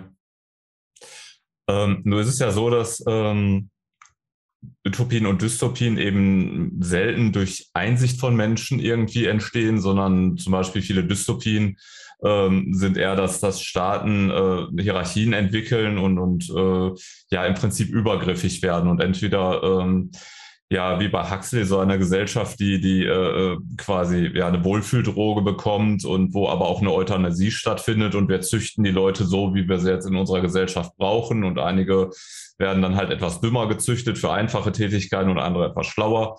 Ähm, bei Orwell ist ja eher so, äh, ja, wir haben im Prinzip einen totalitären Staat, der auch eine Bedrohung von außen suggeriert, ähm, die Sprache unorganisiert und so weiter. Ähm, ja, also da ist so, dass das irgendwie immer Machthaber gibt, eine Elite gibt, die im Prinzip ja eine Herrscherklasse bildet, die meint, wir müssen die Gesellschaft jetzt so und so gestalten. Äh, wo siehst du das denn im Moment entstehen oder, oder siehst du das gar nicht entstehen? Ich sehe, dass Bürger und Bürgerinnen dazu neigen. Das hat man ja gesehen bei diesem Märchen, was nach dem Krieg entstanden ist in Deutschland, dass Hitler die Macht übernommen hätte und, und alle mit seiner Schlangenzunge verzaubert hätte und alle ermordet hätte, die im Weg standen. Und ähm, das stimmt ja überhaupt nicht. Also der ist ja ganz normal gewählt worden. Und ähm, wenn du dir die beliebige Veröffentlichungen, die so ein Schlaglichter auf die Zeit äh, werfen, auch in Österreich, äh, anguckst, siehst du, dass eigentlich die Menschen das sieht man am besten eigentlich bei der Judenverfolgung. Da kann man es am leichtesten sehen, weil da ist es auch am deutlichsten untersucht. Aber auch an anderen Beispielen siehst du eigentlich sehr gut, dass die Leute da mitgegangen sind. Also klassische Begründungen, wenn mal jemand drüber redet und mal Aussagen dazu gemacht hat waren ja zum Beispiel, ähm, das war alles also wir hatten eine Strukturversteinerung, wir hatten Finanzkrisen durchlebt, wir hatten äh, persönliche sehr starke Verluste äh, wirtschaftlicher Art und sonstiger Art erlitten. Und wir wollten einfach mal, dass das so wie, das sind jetzt meine Worte, ne, dass das so eine Art Neustart mal so, so, so dass das jetzt mal junge Leute neu in die Hand nehmen, ja. auch mal ruhig ein bisschen mit Schmackes und so. Und das ich, also ich habe mich da immer gewundert, wie dieses Märchen, dieses Schlangenzungen-Ding da hinterher draus entstanden ist, weil so war es einfach nicht. Ne? Und also zumindest nicht der Datenlage nach, die, die, und es gibt ja Zehntausende von Veröffentlichungen dazu. Naja, und deswegen würde ich sagen, ich sehe es im Moment immer dort, wo so ein bisschen, also wo halt starke Wirtschaftszusammenbrüche sind, aber es muss nicht passieren. Und das finde ich eigentlich, weil du vorhin auch nach Chancen gefragt hast, das finde ich eigentlich das Interessante. Also nehmen wir zum Beispiel mal ähm, Ungarn, Rumänien, Kolumbien und Argentinien. Mhm. Und dann siehst du, dass in manchen Ländern trotz ähnlichem Chaos, wenn du jetzt mal Argentinien und Kolumbien vergleichst, in Argentinien entsteht, entsteht so eine totalitäre Struktur mhm. und in Kolumbien nicht, obwohl die eigentlich sogar noch viel größere Probleme hatten, weil die noch, ähm, man hätte das vielleicht da durchsetzen können, indem man sagt, wie in den Philippinen, der letzte Machthaber, der gesagt hat, ist mir jetzt alles scheißegal, das ist jetzt ein Krieg gegen Drogen und Ende des Gesprächs. Mhm. Der, alles andere können wir dann in fünf Jahren mal drüber reden. Ja. Haben die aber nicht gemacht sondern da ist eben keine Diktatur entstanden. Während in Argentinien ist es passiert. Oder wenn du jetzt mal Ungarn und Rumänien nimmst, in Ungarn und Rumänien haben beide wirtschaftlich außerordentlich schwach. Also man muss wirklich mal hingefahren sein, um das zu verstehen. Äh, die meisten, die da noch nie waren, machen sich überhaupt keinen Begriff davon, wie stark das im Alltag die Armut da ausgeprägt ist oder die Strukturschwäche. Und in Ungarn hast du eher so ein bisschen, je nachdem, wie du politisch eingestellt bist, ne, aber so auf jeden Fall eher schon so, so komisch rechtere oder, oder konservative, nationalistischere Tendenzen. Ja. Während in Rumänien, wo, da, wo Nationalismus eigentlich schon immer eine sehr große Rolle gespielt hat, um das Land auch zusammenzuhalten, diese drei Landesteile, die eigentlich so historisch nicht so richtig zusammengehören, ähm, da äh, siehst du das jetzt eigentlich nicht so, da, da, dass da jetzt dieser diktatorische Nationalismus ja. durchschreibt. Also ich würde sagen, das ist eine Sache, die zu sehr von anderen Umweltbedingungen noch abhängt und von Stimmungen und Strömungen, die durchaus im Handlungsspielraum des Einzelnen liegen. Also es gibt immer mal wieder Einzelne, die auch einfach ernst genommen werden, auch in so entstehenden ja. rechtskonservativ-nationalistischen Umfeldern, wo dann auf einmal von der Bevölkerung aber eine liberale Person sehr wertgeschätzt wird, sodass, die, sodass man die nicht einfach beseitigen kann, staatlicherseits. Also ich sehe da wenn du so die Daten anguckst, über, sagen wir mal, jetzt nehmen wir mal nur die letzten 200 Jahre oder so. Ja. Oder die letzten 100 Jahre oder 150, so, die, das ist gut, die letzten 150, das, dann sehe ich da eigentlich keine erkennbare Logik und du weißt auch nicht, wie es weitergeht. Also du weißt zum Beispiel nicht, ob Ungarn jetzt nicht zum Beispiel oder Polen ist auch ein sehr gutes Beispiel, ob Ungarn und Polen nicht super moderne Staaten werden. Also ob das nicht voll digital aus dieser Armut und Schwäche heraus, dass sie sagen, okay, jetzt reicht's, wir digitalisieren uns jetzt mal radikal, ähm, wir, äh, anstatt zum Beispiel, was du in Rumänien siehst, zum Beispiel, wenn du in Rumänien zur Post gehst, das sind riesige leerstehende Gebäude, es gibt keine Quittungen mehr, äh, nichts ist mehr da, noch nicht mal mehr ein Kugelschreiber. Und du fragst dich, warum existiert das überhaupt noch? Die Post wird auch kaum transportiert. Also das ist ein reines Glücksspiel, ob deine Briefe oder Postkarten transportiert werden oder nicht. In Polen auch manchmal auch. Pakete aus Polen zu verschicken, das kannst du auch fast vergessen. Selbst mit DHL, ne? die verschwinden auch äh, mit unvor unvorhersehbarer Weise mal ja, mal nein. Und aber das kann das Gegenteil passieren. Dass sie ja. ultramodern und auf ihre Art Vorreiter werden, nur auf eine Art, die wir uns jetzt noch nicht vorstellen können. Mhm. Und Nationalismus kann, muss ja nichts Schlechtes sein. Ich meine, Deutschland, wenn du Deutschland für einen guten Staat halten solltest, mhm. ist ja auch durch den Nationalismus geprägt worden. Die Regionen haben nicht zusammengehalten. Ich meine, nicht umsonst gibt es den Freistaat Thüringen, den Freistaat Sachsen, den Freistaat Bayern, weil die halt einfach nicht dazugehören wollten. Und dann hat man das mit einer großen nationalistischen Kampagne zusammengeschweißt, auch kulturell, ne? Deutsches Lied gut und deutsche Komponisten und deutsche Werte und das hat geklappt und jetzt haben wir halt Deutschland. Ja, aber also zwei Sachen würde ich gerne anmerken. Also das eine, was du sagtest, ähm, ja, dass diese, diese Ermächtigung, äh, wie du sagst, das mit der Schlangenzunge, ne? also dass das letzten Endes da der große Diktator das Volk aufpeitscht und das Volk verführt worden ist. Ähm, ja, das Volk da auch letzten Endes ein Bedürfnis selber hatte oder äh, ja, hast, hast du da auch den Eindruck, dass diese Pole, also so Machthaber und Volk, sich auch gegenseitig pushen können? Also das Volk sagt, so, wir wollen hier in die Richtung und äh, darüber ähm, fühlt sich dann wieder dieser äh, na, Diktator oder sonst wer, also die Regierung ermächtigt und pusht sich halt weiter hoch. Und das, das gibt so eine unheilige Spirale, die sich gegenseitig verstärkt. Ja, kann ich, kann ich, also aus allem, was ich überschauen kann, also Lateinamerika, Mittelamerika, kleine Teile von Asien, Zentraleuropa, also das ist das Einzige, was ich überschauen kann, mhm. äh, da ist das auf jeden Fall so. Also du musst, deswegen habe ich vorhin gesagt, die wichtigste Säule ist unbedingt Wahlen und Abwahlen zu ermöglichen. Also natürlich faire und, und ehrliche, transparente Wahlen und Abwahlen, nicht die gefakten.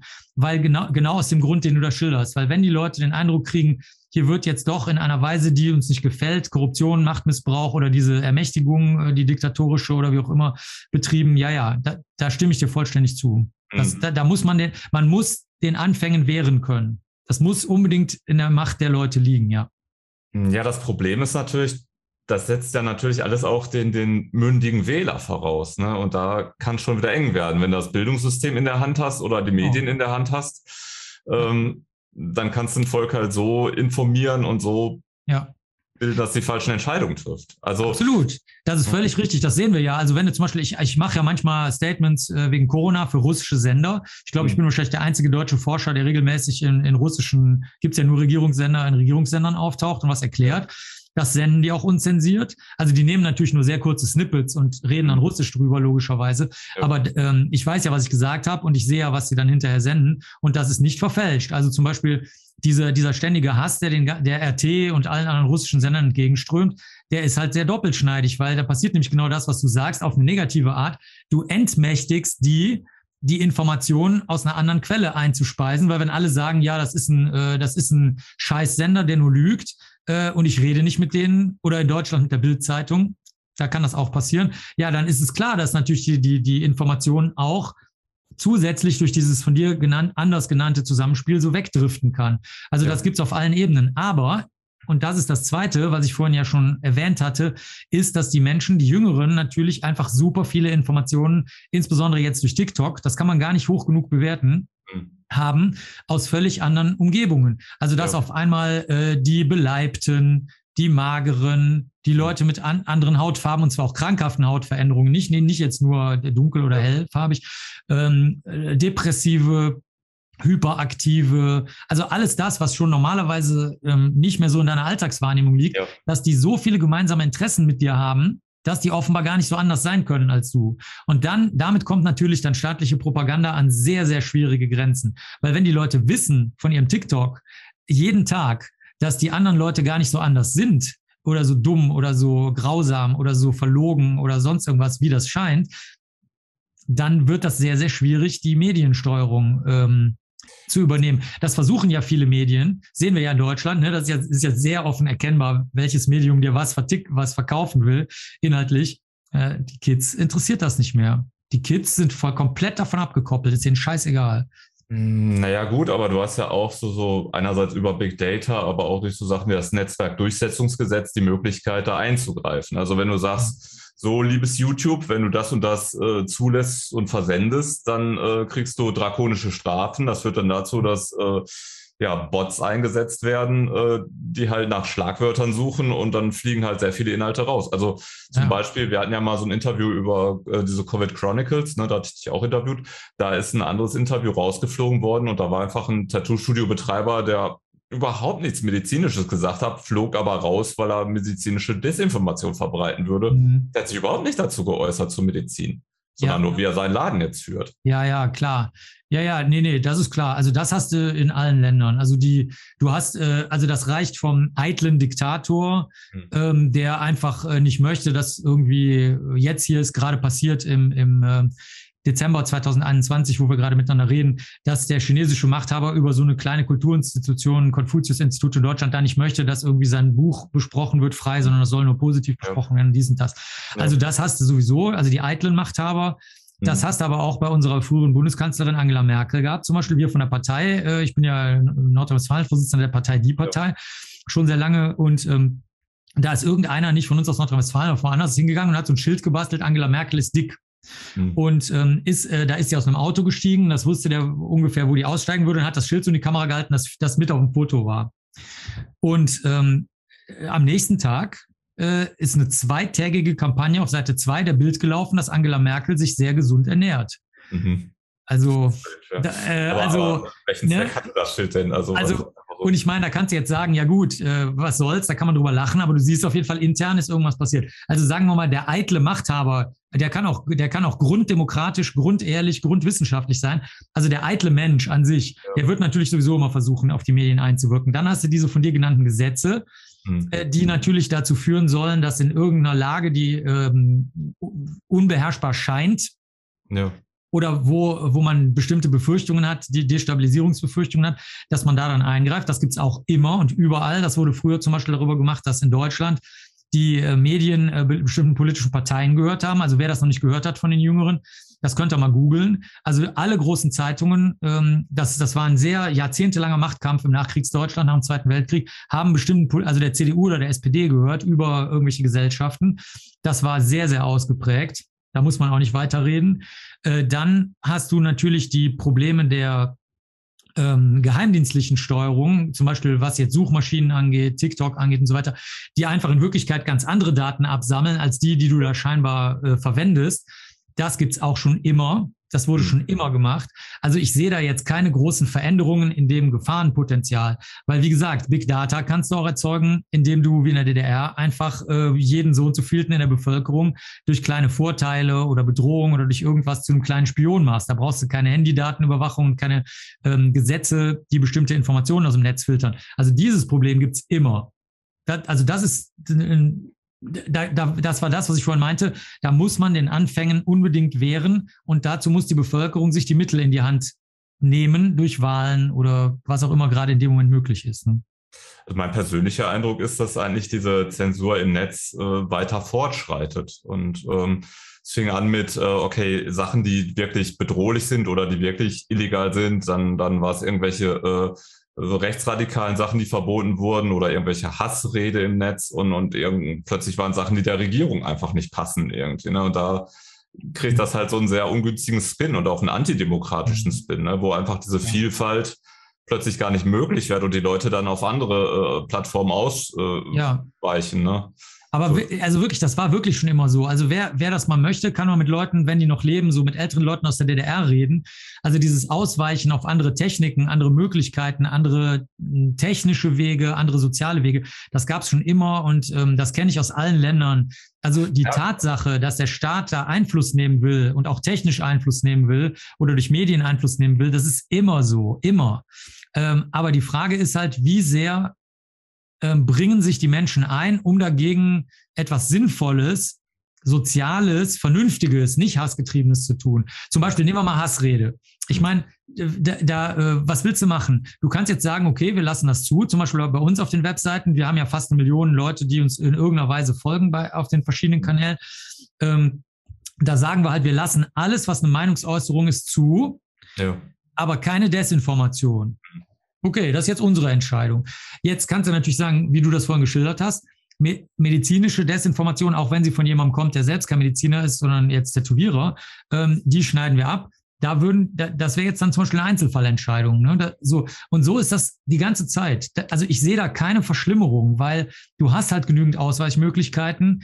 Ähm, nur der Handlungsspielraum des Einzelnen ist, für, ist halt ungewohnt. Zum Beispiel, wenn du nach China gehst, machen die Leute das halt anders ihren Handlungsspielraum nutzen, weil es halt sehr gefährlich sein kann, ähm, je nachdem, was für Beruf du hast, als äh, meinetwegen in Ungarn oder in Rumänien, wo das eigentlich am Ende des Tages jetzt keine schwerwiegenden Folgen für dich hat, ähm, wenn du dann doch mal eine andere Meinung äh, äußerst, bis hin zu den ähm, schon immer bestehenden indirekten Berufseinschränkungen oder Verboten, die du zum Beispiel an in einer konservativen Organisation hast, zum Beispiel unter Juristen und Juristinnen. Mhm. Also wenn du ein sehr aufgeklärter linksliberaler Jurist oder Juristin bist, wirst du, hast du schon immer Probleme bekommen, weil das eher ein strukturkonservatives Fach ist.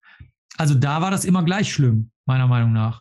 Außer jetzt in Diktaturen, das ist, ne, das ist noch was anderes. Also insofern. Ja, wobei ja natürlich, ähm, also du, klar, man kann ausweichen, aber man hat natürlich eine ganz andere Reichweite. Also es haben sich ja tatsächlich Monopole gebildet. Ne? Also man kann ja sagen, äh, YouTube ist einfach so groß, es gibt einfach nichts Vergleichbares. Ne? Es bilden sich halt kleine Sachen, aber von der Reichweite ist ja ein Witz.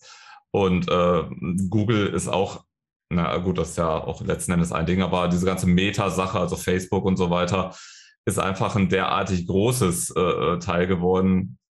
Ja, da ist ja auch kein nichts in Sicht, was jetzt das ersetzen würde von der Reichweite her. Aber da sind wir genau bei dem Punkt mit Hitlers Schlangenzunge. Mhm. Die Menschen wollen das so.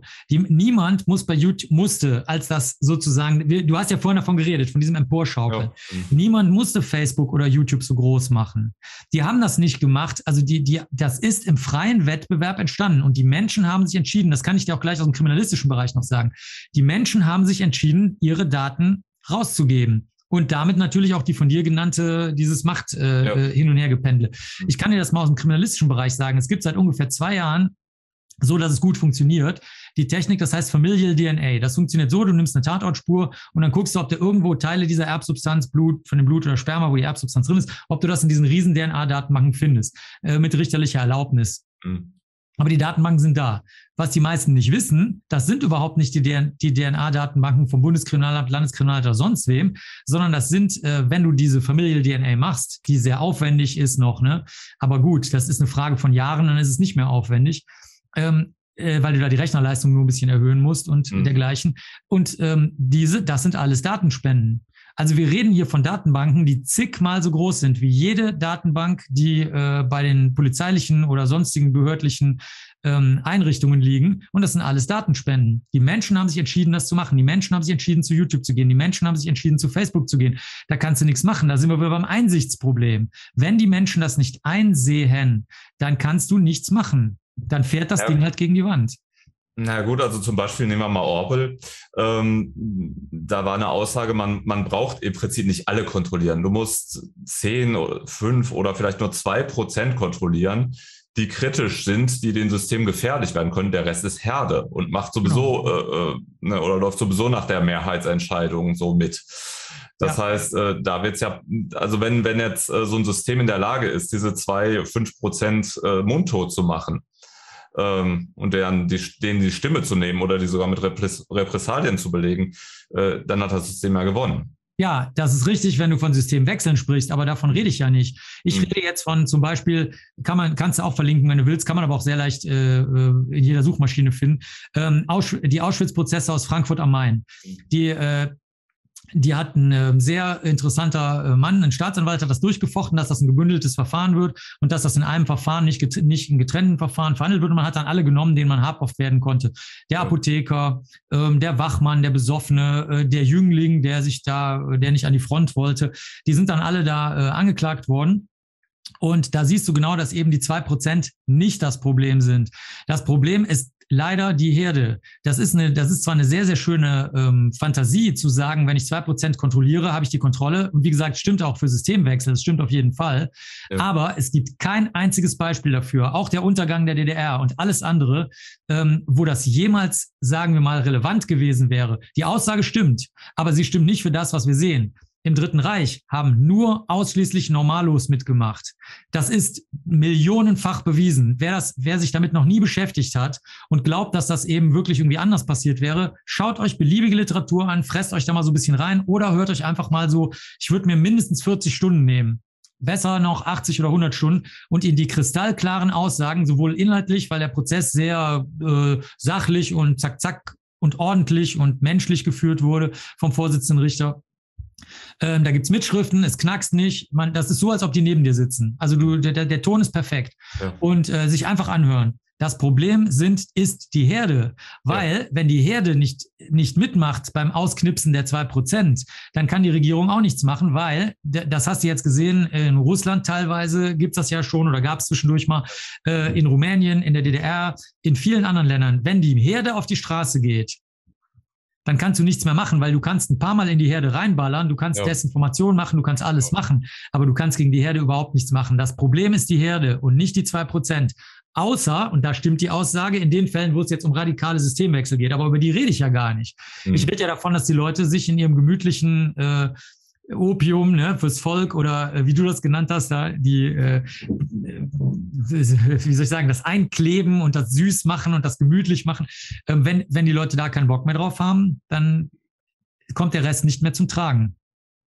Also da muss man keine Angst vor haben. Das kann immer passieren. Das kann immer passieren, dass du eine totale Diktatur hast, die tatsächlich dann die ganzen Dissidenten, Journalisten und so weiter umbringt. Passiert ja jeden Tag. Sehen wir ja auch. Ja, man Aber muss ja nicht mal umbringen. Also es reicht ja, wenn man oder ruhig stellen, ja. Die handlungsunfähig genau. macht im Grunde. Genau, genau. Berufsunfähig machen, mundtot ja. machen, Zugang zu Medien. Klar, keine Frage. Aber das ist ein Nebenschauplatz. Wer wirklich was ändern möchte, muss sich um die Herde kümmern. Und das, das geht.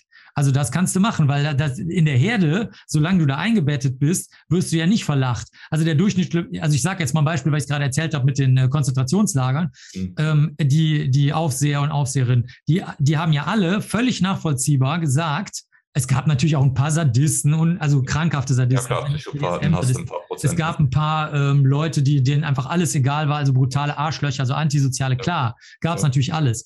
Aber der Großteil der Leute sind einfach Herde gewesen, die sich gesagt hat, okay, das Ding ist irgendwann bald vorbei, dann ist das an uns vorübergezogen. Ich habe hier eine halbwegs sichere Position, habe ich hier meinen Kopf ja. unter äh, Radar gehalten. Ja und fertig.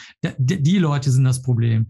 Und ähm, deswegen, ich, ich greife das gar nicht an, was du da sagst, ne? aber ich halte es für einen absoluten Nebenschauplatz aus allem, was ich bisher in meinem Leben gesehen habe und gelesen habe und gehört habe.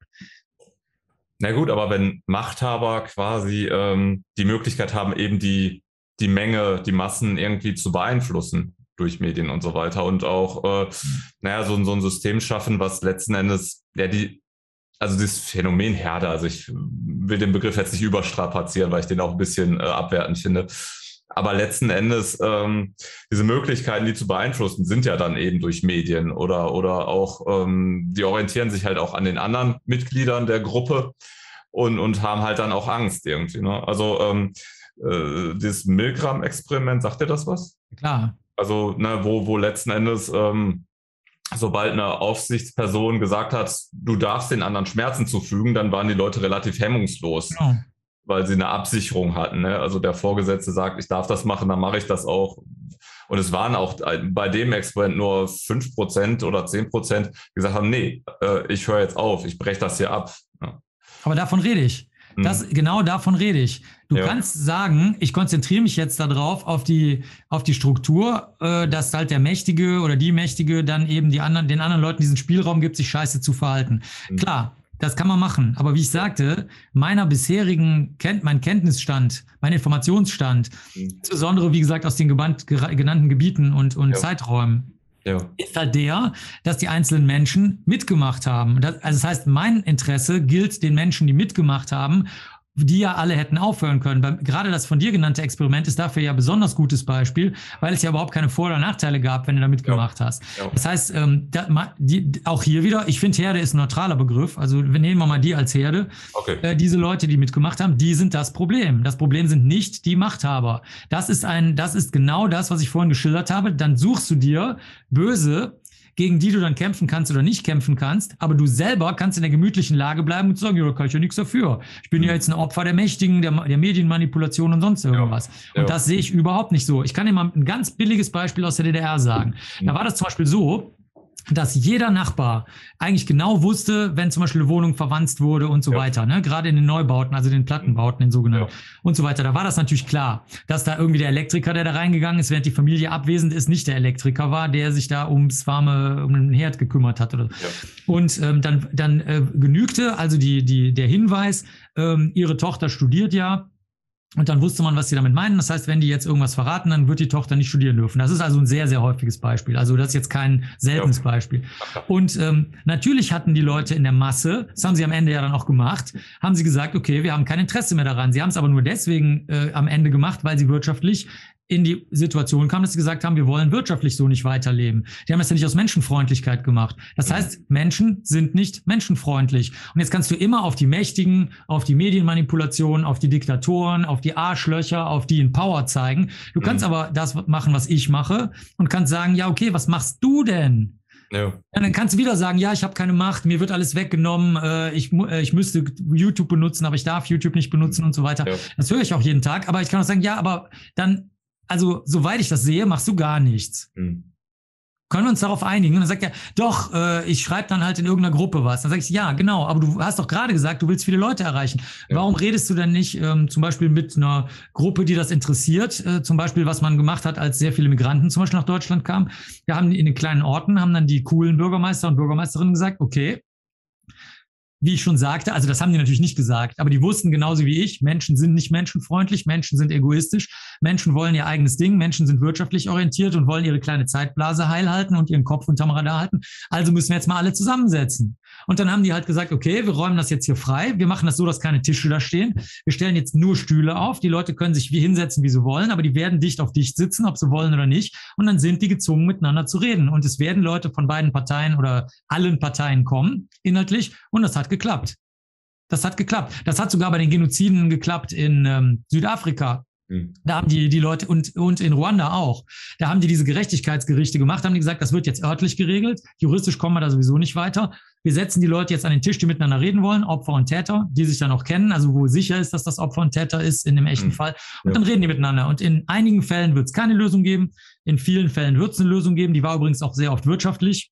Also mhm. ich, ich gebe dir das und das dafür. Und in äh, sehr vielen Fällen wirst du radikales Verzeihen haben, weil die sagen, okay, pass auf, du hast das gemacht. Ja. Ähm, kann, können wir jetzt eh nicht ungeschehen machen. Ich habe aber keinen Bock mehr, mich mit deiner Scheiße zu beschäftigen. Du bist ein Arschloch, du bleibst ein Arschloch. Aber ich habe keine Lust, mich damit zu beschäftigen. Bitte schön, hab ein schönes Leben. Ich möchte dich aber nie wiedersehen. Also mhm. alles Mögliche ist da passiert. Aber nur zu bejammern, dass der Staat die Mächte die Einflüsse oder so dir deine Macht nehmen, hm. das, das äh, führt zu überhaupt nichts. Es ist eine Ausrede.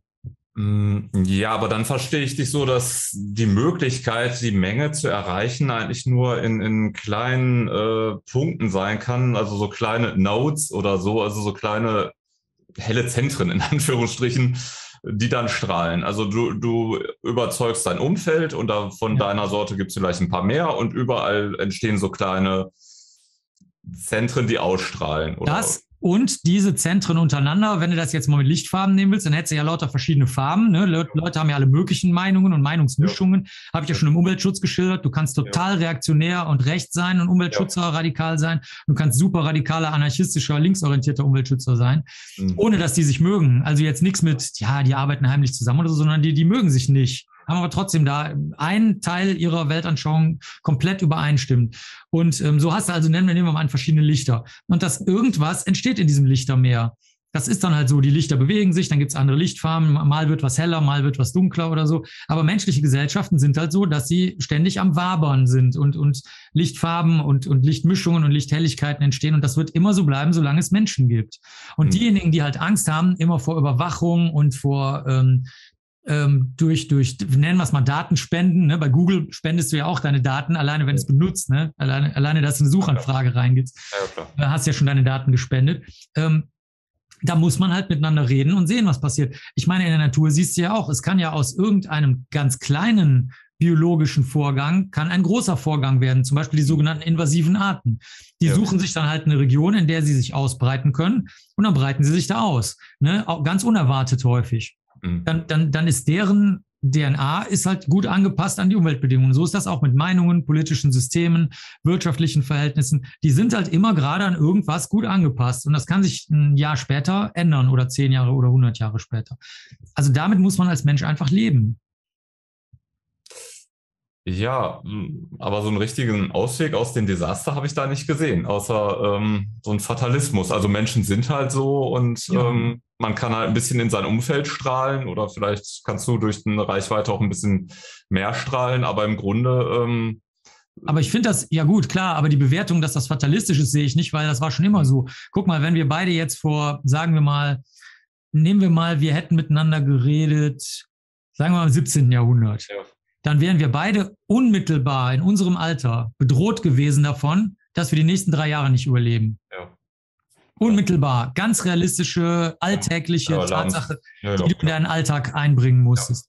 Ähm, wenn wir im, sagen wir mal, 1927 gelebt hätten, hätte es ohne weiteres passieren können, dass wir totalen wirtschaftlichen Bankrott erleben. Wir sind ja beide Freiberufler und ähm, keine Möglichkeit haben, das gut aufzufangen und dann auf einmal auf Angehörige angewiesen sind, die äh, dann nett oder nicht nett sind.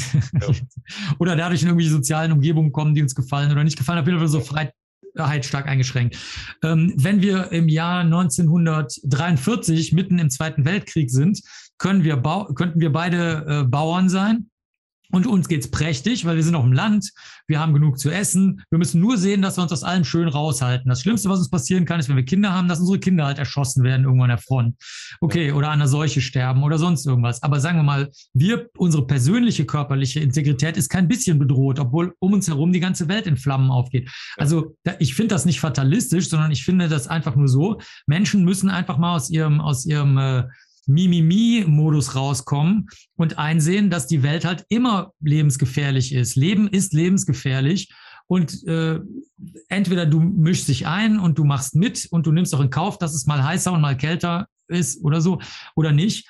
Aber ähm, sich immer sich immer aufs Heulen und und andere äh, bezichtigen, sei es die Regierung mhm. oder die linken Zecken oder die bösen Nazis oder irgendwen immer äh, bezichtigen, da, da, da, dann dann passiert halt das, was ich vorhin meinte, dann hast du halt nichts gemacht. Und ich finde das ja. nicht fatalistisch. Ich finde, zum Beispiel ähm, deine Arbeit, ähm, die ist ja total vielschichtig. Und jetzt hast du angefangen hier äh, während den Lockdowns und dem Corona diese Kanäle zu machen. Du redest mit total vielen Leuten. Du weißt ja nicht, ob nicht zwei Personen, die das sehen, sich ja. auf einmal sagen, ah ja, das stimmt. Meinetwegen hier der, der ähm, ähm, die, die sich hier gerade unterhalten, die tauschen ihre Meinungen aus. Das, also gar nicht, dass die sich an unseren Meinungen interessiert, ja. sondern die sagen nur, diese Art der Gesprächsführung versuche ich jetzt dieses Jahr, Weihnachten, Silvester, bei einer Geburtstagsparty auch mal. Ja. So, so, eine, so eine wirklich nicht wertende ähm, ja. Meinungsaustausch. Ja. Und dann auf einmal ganz ernst gemeint, sitzt in der Familie jemand, der dann an irgendeiner Entscheidungsposition sitzt und sagt sich, ach so, ja, hm, okay, das könnte ich jetzt in der Firma, im Betrieb, in der Behörde oder so auch mal so ein bisschen mehr fördern, bla bla bla. Und dann weitet sich das evolutionär aus, weil sich das bewährt. Das ist doch super. Wir wissen, wir wissen nicht, was unsere Handlungen bewirken. Wir können mhm. immer nur so positiv und so sozial handeln wie möglich. Das war's. Das ist kein äh, Fatalismus. Hm, worauf führst du es denn zurück? Also ich habe den Eindruck, dass so gerade in der letzten Zeit, das fing eigentlich sehr stark bei der Migrationskrise an, äh, setzte sich aber fort, ist jetzt auch in der Corona-Pandemie äh, das Problem, ja, dass das äh, Dissens, also unterschiedliche Meinungen immer, immer weniger ausgehalten werden, sich Lager bilden, sich die Gesellschaft auch zu spalten, droht hier und da und wirklich richtige Anfeindungen und äh, ne, in jede Richtung eigentlich ne, äh, passieren. Also ich kann es jetzt nur sagen, aus dem Bereich, den ich sehe und umfassen ja. kann. Also wir kriegen ja extrem viel Hass und Morddrohungen und alles Mögliche natürlich im Internet. Ja. Ähm, also ich denke, das, was manche von den Politiker, Politikerinnen auch sagen, die nicht so empfindlich sind, weil die sind das ja gewohnt, dass sie, die beschimpfen sich ja sowieso dauernd mehr oder weniger unterschwellig. Ähm, ich rede jetzt gar nicht von den Künstlern und Künstlerinnen, die das natürlich häufig gar nicht aushalten, weil die, weil die natürlich äh, seelisch sozusagen natürlich jetzt nicht auf Hass und, und sowas getrimmt sind, sondern möchten Menschen ja Freude machen und gemeinsame Erlebnisse und so. Also die nehme ich jetzt mal nicht. Aber wenn du jetzt mal Politiker und Leute, die viel mit sozialen Medien unterwegs sind, so wie wir nimmst, da würde ich sagen, ähm, es sind tatsächlich, soweit ich das überschauen kann, besonders laute, besonders krakelige und besonders stark vor allen Dingen angstgestörte Leute, mhm. die einfach einen riesen Zauber veranstalten. Und das kann ich auch verstehen, weil wenn ich eine Angststörung habe und ähm, ich erlebe, dass die Umwelt sich sehr stark ändert mhm. und ich gleichzeitig gefüttert werde, damit das angeblich immer mehr der Staat krakenartig in mich eingreift, ähm, gleichzeitig ähm, meine Handlungsfreiheit irgendwie, ne, dass ich kann jetzt nicht mehr zu einer Party gehen, wo ich früher hingegangen bin oder ins Kino oder sonst irgendwas gehen oder so, dann ist das natürlich klar. Also ich verstehe das vollständig. Dann ist das wirklich dann mehr Feuer kann man unter meine Störung jetzt schon gar nicht mehr drunter feuern. Mehr geht gar nicht mehr. Ja. Da gehen alle meine Abwehrreflexe los und das ist klar, dass ich dann, dass ich dann schreie, mich wehre, beschimpfe, Morddrohungen mache, Leute angreife. Wirklich, ich kann das wirklich verstehen. Ist nicht lustig gemeint. Und mhm. diese Leute werden halt im Moment natürlich extrem laut, weil halt sehr viele Bedrohungen auf sie scheinbar zukommen, auch wenn die gar nicht auf sie zukommen, sondern sie auch zurückgelehnt das aushalten können. Aber das ist natürlich zu viel. Angeblich sehr starke Migrationsbewegungen, die sind ja gar nicht so stark. Äh, wenn du das mal historisch anguckst, Deutschland ist zum Beispiel ein, ein, Land, aus dem extrem viele Leute rausmigriert sind. Deutschland war die verhassteste Nation weltweit, weil die Deutschen immer klugscheißerisch den Rest der Welt besiedeln wollten. Selbst wenn sie die ärmsten Zausel waren, die irgendwo in New York oder sonst wo angekommen sind, dann wussten sie immer, wie die Welt läuft. Also es gibt zahlreiche Berichte äh, über die Deutschen, die allen auf den Wecker gegangen sind. Äh, die deutschen Migranten, die, die Auswanderer aus Deutschland. Ähm, also so schlimm ist das über die letzten, sagen wir mal, wenn du so seit 1800 nimmst, ist das gar nicht so wild. Dann das zweite, Impfungen. Da haben die Leute natürlich auch Angst. Sie verstehen nicht, wie irgendein Impfstoff funktioniert oder irgendwas. Dann dieser Mix mit den ganzen Verschwörungsüberlegungen, ähm, die es da immer gibt. Ich verstehe das. Aber der Unterschied zu früher ist, die können jetzt unglaublich laut sein, weil was du vor ein paar Jahren noch nicht konntest, du konntest vor ein paar Jahren keine Polizisten und Polizistinnen angreifen. No fucking way. Wenn du das gemacht hast, dann war sofort Schluss und du bist aus dem Sichtfeld gekommen. Heute machst du das, kannst du weitergehen, weil die Polizei halt äh, keine Lust hat, da jetzt äh, mit dem ganzen Kleinkram sich zu beschäftigen. Das ist Nummer eins. Das heißt, die können viel länger, viel lauter, viel aggressiver sein. Dann Nummer zwei, sie können im Netz können sie, ähm, was Beleidigungen angeht, viel mehr machen, als das früher möglich wäre. Weil sagen wir mal, du hast einen Verein früher gehabt, einen Gärtnerverein, und du warst verfeindet mit dem anderen Gärtnerverein. Mhm. Dann wurdest du einfach ausgeschlossen. Du konntest nicht reden. Dann haben die gesagt, nee, sie kommen hier nicht rein, sie gehören nicht zu dem Verein, sie haben sich hier negativ verhalten, sie schneiden den Rasen nicht drei, sondern sieben Millimeter, sorry, sie gehören nicht dazu. Das heißt, früher war der, der dieses nicht zu Wort kommen durch Ausgrenzung 50 Millionen Mal ausgeprägter. Das kennen nur noch ältere Leute, die das noch wissen als eben die sozialen Medien und dergleichen nicht vorhanden waren. Also deswegen, ähm, ich führe das darauf zurück, besonders auch was die Morddrohungen angeht, weil mhm. ich meine, wenn du die Menge der Morddrohungen dir anguckst, die wir alleine schon kriegen und dann nimmst du jetzt nochmal die Künstler und Künstlerinnen dazu mhm. oder sonstige Leute, die sich damit beschäftigen, ich meine, das, das, äh, das kommt ja aus Verzweiflung ich bedrohe ja nicht jemanden mit einer Tötung, nur weil ich gerade eine rostige Eisenklinge gefressen habe oder bis zur Haarspitze voller Speed bin oder beides, mhm. sondern das mache ich natürlich auch aus Angst und der Empfindung, der bedroht zu sein. Mhm. Das heißt, ich denke, das ist eine Überbetonung der, der angstgestörten Leute und ähm, unser Corona-Kanal ist, hat ja zum Beispiel auch sehr gute Wirkungen und ist ja auch wahrscheinlich der größte, soweit wir das wissen, im deutschsprachigen Raum, mhm. weil wir die Ängste der Leute überhaupt nicht bewerten.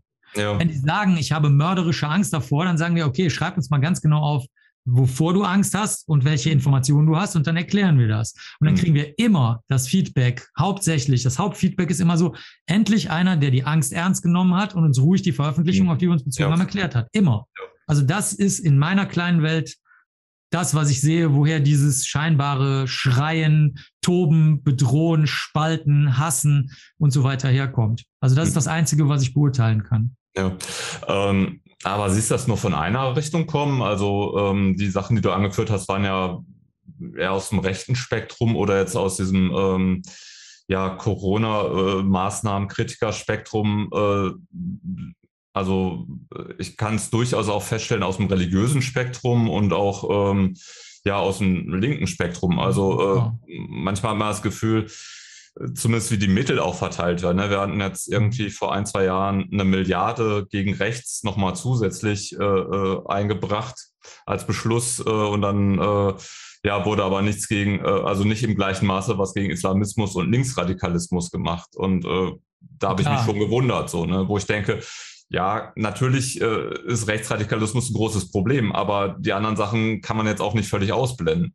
Ja, die sind ja auch nicht völlig ausgeblendet. Also gerade im Islam, das kann ich dir aus dem kriminalistischen Bereich sagen. Ja. Also Islamismus ist sehr, sehr ernst und mit sehr, sehr viel Geld wird das untersucht. Vielleicht nicht so, dass das die in der Zeitung steht, aber mhm. wenn du die Berichte liest in der Kriminalist, ähm, das ist eine Zeitschrift vom Bund Deutscher Kriminalbeamter, dann äh, von der Kriminalistik, das ist die Zeitschrift von Landeskriminalämtern rausgegeben ähm, und die anderen polizeilichen Zeitschriften, da gibt es noch ein paar andere, ähm, da ist Rechtsextremismus und Linksextremismus im, im genau gleichen Maße äh, sehr, sehr ernst untersucht und Islamismus ganz weit vorne auch. Also das, das liegt wohl eher daran, dass die meisten Menschen natürlich jetzt keinen äh, Zugang zu innenministeriellen, justizministeriellen, polizeilichen Veröffentlichungen haben.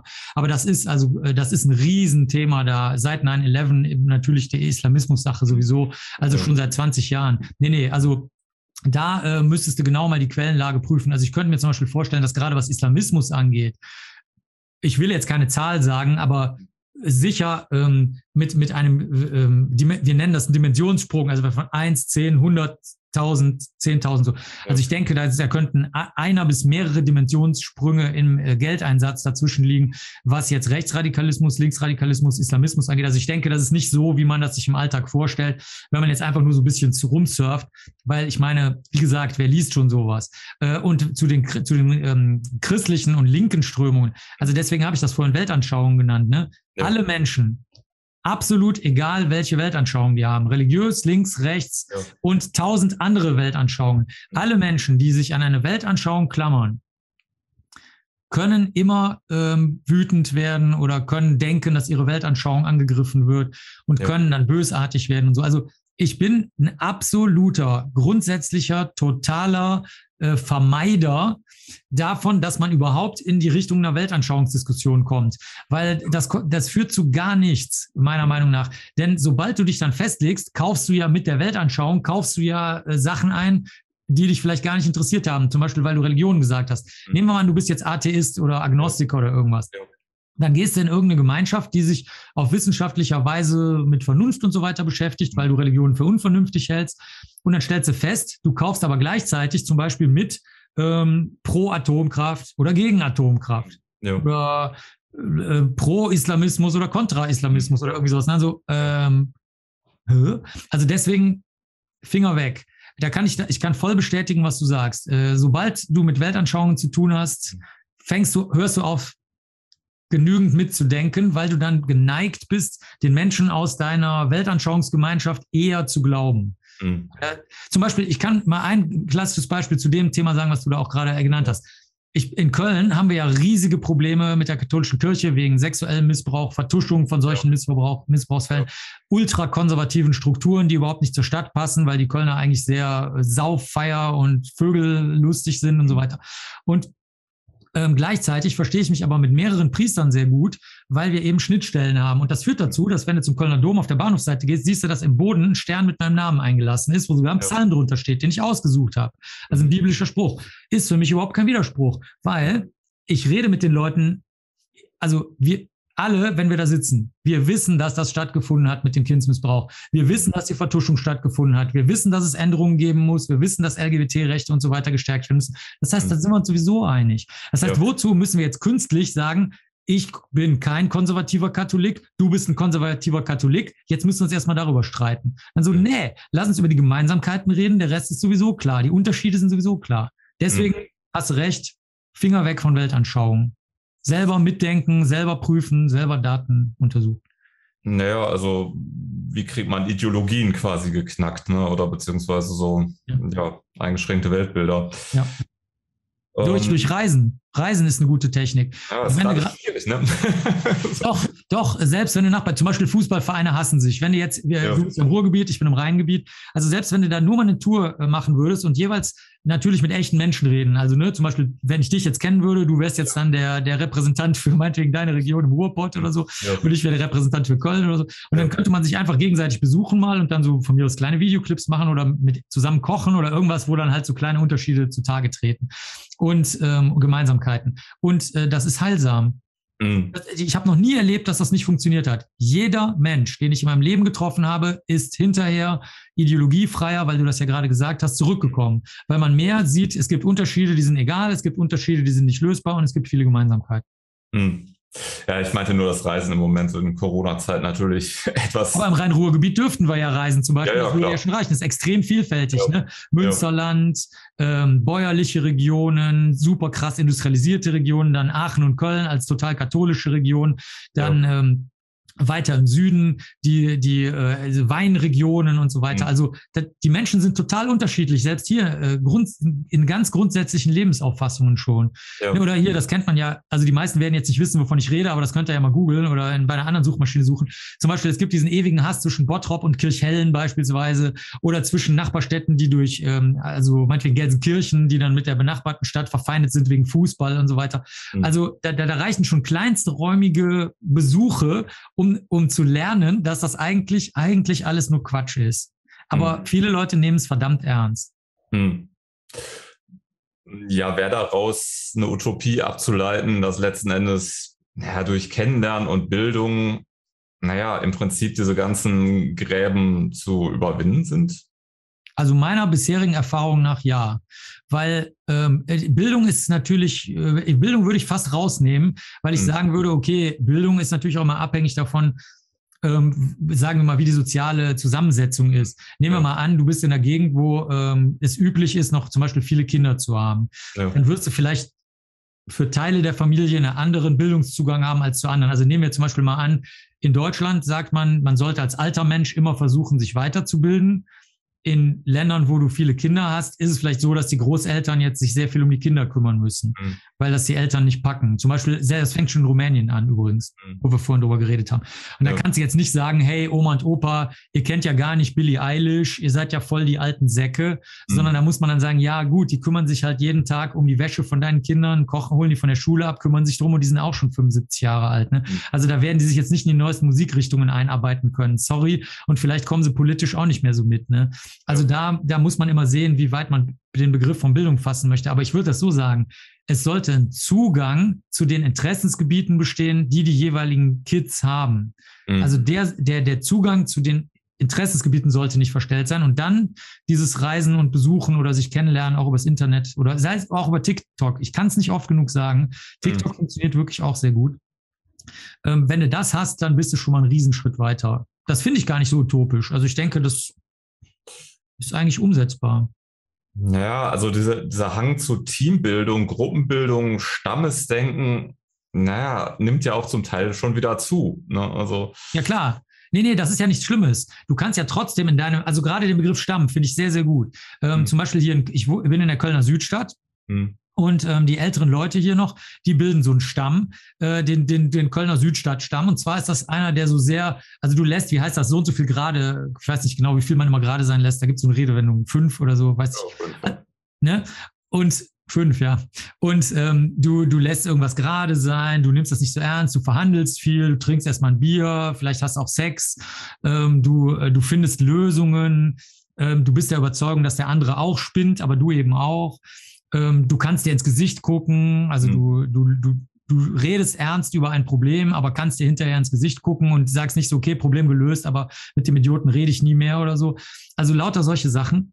Mhm. Und ähm, die haben halt auch komische karnevalistische Traditionen. Also die, die, trinken sich halt ständig besinnungslos und ähm, haben, können gleichzeitig hochgradig konservativ katholisch sein, gehen im Karneval fremd wie die Verrückten, ähm, haben ganz viele verrückte soziale Regeln, die man so durchschauen muss. Und ja. dagegen habe ich überhaupt nichts. Also das wäre jetzt zum Beispiel der Stamm, den ich so besser kenne. Und ja. ähm, ich kann damit ohne weiteres leben, dass in einem anderen Stadtteil oder in einer benachbarten Stadt, nehmen wir jetzt mal insbesondere, wenn man Richtung Düsseldorf gehen würde, das ist so eine klassische Städtefeindschaft, dass da völlig andere Regeln herrschen. Ja.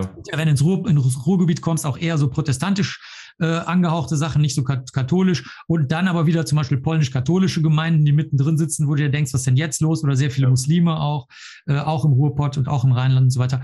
Habe ich überhaupt kein Problem. Du kannst mhm. zu deinem Stamm gehören, so viel du lustig bist. So wie in Köln gibt es 50.000 Karnevalsgesellschaften, die alle ihren kleinen Stamm bilden, kein Problem. Nur, die sollen die Regeln, die ich vorhin genannt habe, miteinander durchführen können. Sich in die Augen gucken können, ehrlich sein und so weiter. Und dann hast, dann ist das kein Problem. Du darfst ja deinen Komfortbläschen haben. Warum mhm. nicht? Ich habe auch gerne mein Komfortbläschen. Ich lese zum Beispiel nur sehr alte Bücher und nie Romane. Okay, mhm. ist halt meine kauzige Sache. Aber ich muss ja andere Leute damit nicht nerven. Darum geht's. Ja, aber andererseits ist ja dann auch so eine, so eine Solidarität zur eigenen Gruppe immer sehr viel stärker als ähm, gegenüber der gesamten Gemeinschaft. Ne? Und da ist halt auch die nächste Frage, wie groß sind Gruppen noch funktionsfähig? Ne? Also ist es so Familie, ist es irgendwie 30 Personen, sind es Nationen, sind es Kontinente? Also ab wo kannst du sagen, wie groß fasst man die Einheiten, die mhm. noch tatsächlich konsens- und, und funktionsfähig sind? Ja, das ist ja untersucht, ne? Also politisch ist das so, dass du diese, du, du brauchst diese Nationalstaaten so in der Welt, in der wir leben. Also die müssen durch irgendwas zusammengehalten sein.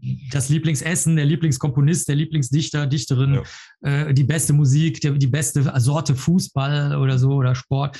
Das ist klar. Also das, äh, diese Nationalstaaten, die haben sich jetzt etabliert und bewährt in den letzten, sagen wir mal, Zeiten. Das sind so die Verwaltungseinheiten, die funktionieren. Die können sehr groß sein, die können sehr klein sein und wie groß die sein können, hängt von wirtschaftlichen Dingen ab. Also ob du die historisch und wirtschaftlich verwaltet kriegst in China, das wird zusammengehalten, weil die denken, oder weiß ich, vielleicht sind sie es ja auch, der Mittelpunkt der Welt, der menschlichen Welt. Das denken ja. die alle. Gut, können sie ja machen, solange sie damit keinen nerven, wie gesagt. Und äh, dadurch wird das irgendwie zusammengehalten. Minderheiten werden dann halt entsprechend behandelt mhm. und so. Also das dann in der Sowjetunion, in der ehemaligen, also Russland jetzt hast du halt die wirtschaftlichen Dinge, solange die noch Erdgas mhm. und so weiter haben, wird das noch zusammengehalten. In Deutschland ist es Erfindergeist und Sparsamkeit und sonst irgendwas und so halt irgendwie. Ja. Also das sind die, das ist im Moment das, was von dem wir bewiesen wissen, dass die Nationalstaaten so gerade so halten. Ja. Dann, das ist aber in Wirklichkeit wirtschaftlich bedingt. Das ist also der, der, der kulturelle Nationalstaat ist ein Märchen. Es ist in Wirklichkeit ein wirtschaftlicher Nationalstaat. Und dann ähm, was die menschlichen Gruppen angeht, das ist biologisch natürlich untersucht. Also da weißt du halt, das ist richtig, wie du gesagt hast. Also man, man hat ja, ähm, sieht man ja am Adressbuch, wem, wie viele Leuten schickt man im Bestfall, wenn man Zeit hat, eine Weihnachtskarte, wie viele Leute würde man im Bestfall einladen zu einer richtig fetten Party und so. Ja. Das ist ja immer die von dir genannte Zahl, so zwischen 30 und 100. Man kann natürlich dann auch aus, aus Imagegründen größer oder kleiner machen, aber das ist so der, der Raum, den so normale Menschen als persönliche Gruppe überschauen können und wie du gesagt hast, wo vielleicht auch eine gewisse Konsensfähigkeit möglich mhm. ist. Aber meiner bisherigen Beobachtung nach auch hier wieder international gesehen mit sehr vielen internationalen Konferenzen, die ich mache, was ja sonst kaum jemand macht. Ich bin ja, ich bin ja auch so ein Wanderer zwischen den Wissenschaftswelten. Das ist ja, ja auch sehr selten. Äh, würde ich sagen, das spielt überhaupt keine Rolle mehr. Also das, was wir biologisch, wirtschaftlich und ähm, politisch wissen, wird Vielleicht erleben wir zwei das nicht mehr, aber das wird mittelfristig keine Rolle mehr spielen. Also da werden irgendwelche völlig anderen Organisationseinheiten entstehen, weil, wie ich schon sagte, die Kids sicher wissen, dass das alles Bullshit ist.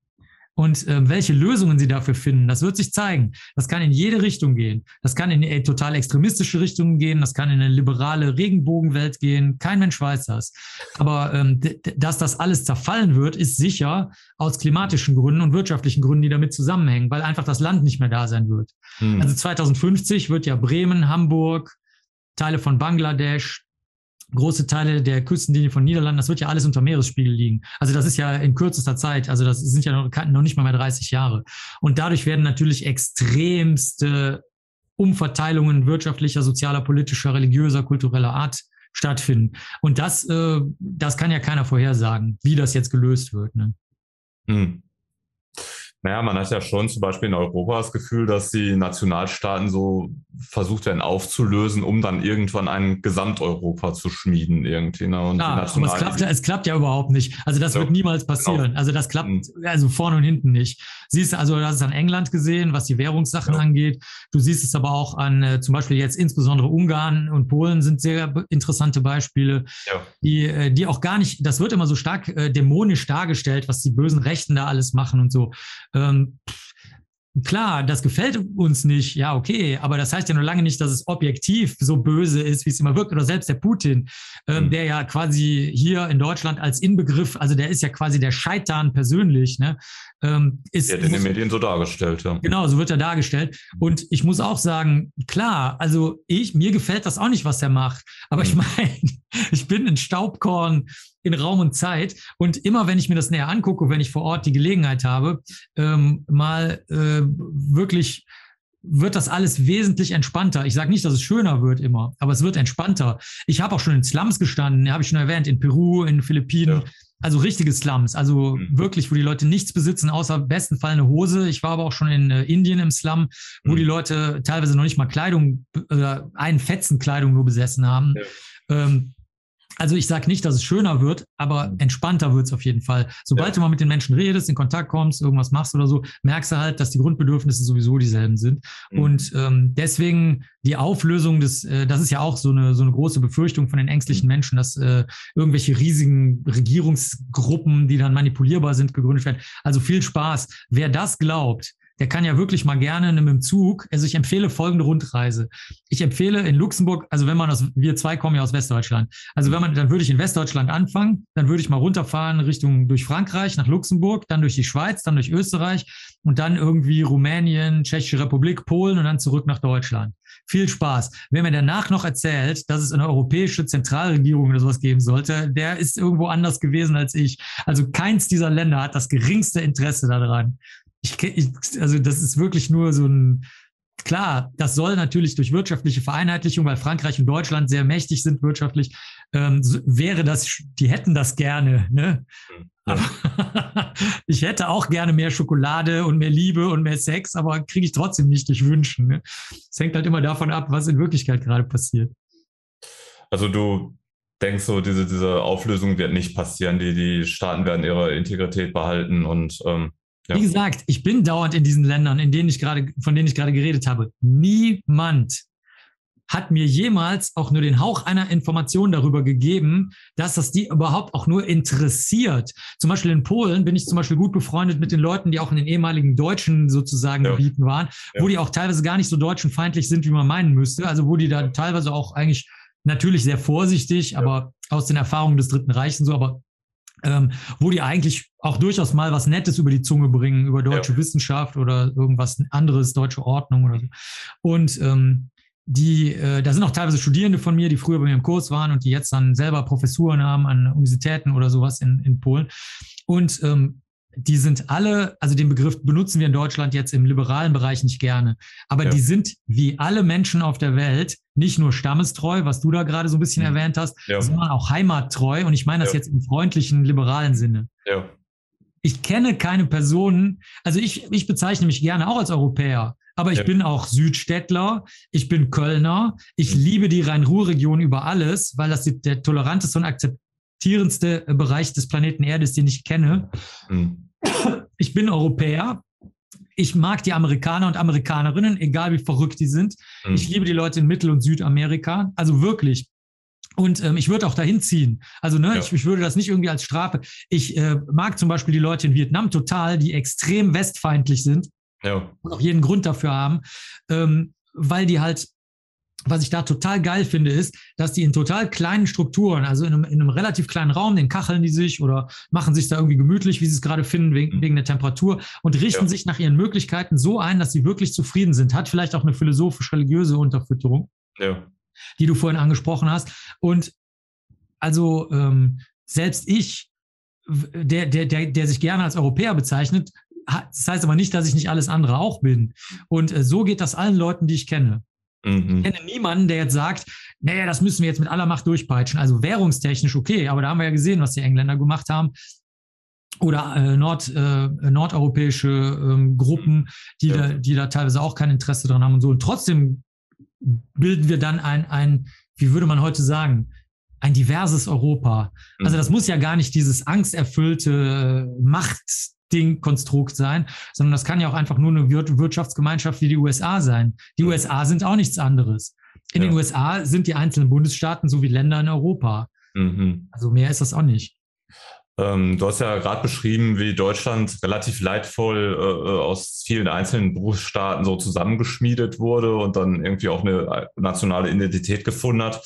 Ähm, wie würde es denn ähm, so Aussagen wie von der SPD-Politikerin Ötschegutz, ähm, ich hoffe, ich spreche den Namen richtig aus, ja. ähm, die gesagt hast, jenseits äh, der Sprache ist sowas wie eine deutsche Kultur eigentlich gar nicht feststellbar. Ähm, ja, klar, ja, ja, nee, nee, ist schon richtig. Das war das, was ich vorhin meinte. Es kommt halt immer darauf an, auf welcher Ebene du gerade guckst. Also sagen wir mal, ähm, wenn du jetzt Ethnien nimmst, ne, das ist ja jetzt sehr gut biologisch untersucht auf der Erbsubstanzebene, das ist halt eine soziale, eine soziale Annahme, dass es Ethnien gibt ähm, dann, die, also biologisch gibt es das jetzt nicht. Wenn du jetzt so kulturelle Untersuchungen machst zum Thema kultureller Zusammenhalt, finde ich, dass das, da stimmt alles. Also wenn mir jetzt einer sagen würde, zum Beispiel, meine ich jetzt nett, ne? also ähm, zu Deutschland gehören Grillen, aber mit Bratwürsten mhm. und nicht mit Schnitzeln, weil Schnitzel grillt man nicht. Mhm. Äh, und äh, im Westen kannst du vielleicht auch mal ein Cordon Bleu essen, aber im Osten eigentlich nicht. Da gehört das nicht zur Kultur. Und äh, wir einigen uns jetzt also darauf, der kleinste gemeinsame Nenner ist Grillen von Bratwürsten aus äh, Schweinefleisch. Dann, wirst du, dann, kann, dann würden wahrscheinlich jetzt viele in Deutschland sagen, ja, okay, es ist einer der kleinen gemeinsamen Nenner, können wir so. Aber dann darfst du nicht durch Thüringen reisen oder durch Sachsen oder Sachsen-Anhalt. Da werden die sagen, bist du bescheuert? Du kannst doch nicht die Würzmischung aus äh, Südthüringen nehmen. Ist doch keine mhm. Bratwurst. Mhm.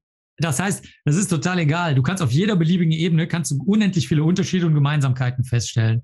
Also das ist totaler Quatsch. Also das kannst du politisch oder sozial oder kulturell kannst du das beliebig festlegen, welche Ebene dich jetzt gerade interessiert. Aber das ist für mich eine Nullaussage. Die ist ohne Bedeutung. Hm. Naja gut, letzten Endes sowas wie eine nationale Identität muss ich ja irgendwo begründen oder so. Oder die, die genau. muss halt irgendwo wo drin fußen. Wo drin, wo drin siehst du die denn? Naja, also Deutschland ist ja einfach, das war ein Zusammenschluss, das haben jetzt die Preußen besonders zusammengetrieben, äh, funktioniert. Hier im Rheinland sieht man weniger jetzt im Ruhrgebiet, wo du bist, aber im Rheinland sieht man auch, dass das halt nicht geklappt hat. Also da stehen so ein paar verbeulte Blechfiguren von den preußischen Chefs, die mhm. in Berlin jetzt im komplett sanierten Berlin, das ist ja jetzt fast ja. total saniert unter den Linden und alles, ja. ähm, da stehen die halt wieder glänzend wie am ersten Tag, als ob wir noch mitten in Preußen wären. Ja. Und ähm, selbst da siehst du schon die extremen regionalen Unterschiede. Mhm. Und ähm, äh, die haben das halt wirtschaftlich gemacht. Also ja. das ist, da hat man gesagt, okay, ihr dürft Freistaat bleiben, das hat zwar keine Bedeutung, aber nennt euch halt so, ist uns auch egal. Mhm.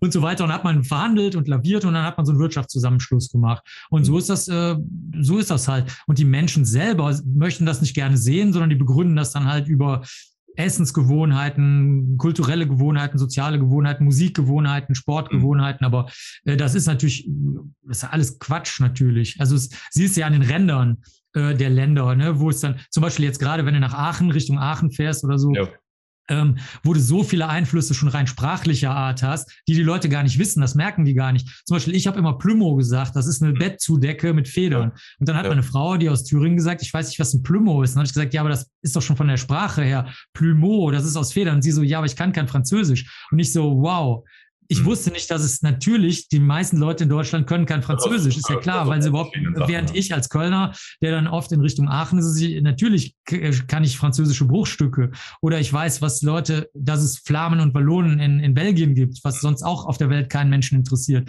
und so weiter und so weiter. Also ja da siehst es ja schon, dass das Quatsch ist. Oder die Leute, die selber nicht wissen, wo sie hingehören, im Elsass oder teilweise im Saarland oder sowas, die dann, die dann selber kulturelle Besonderheit oder im Erzgebirge, die würden sich jetzt nicht dem Nachbarland zugehörig fühlen, die würden sich aber dann vielleicht auch nicht unbedingt dem Rest Deutschlands zugehörig fühlen, stark.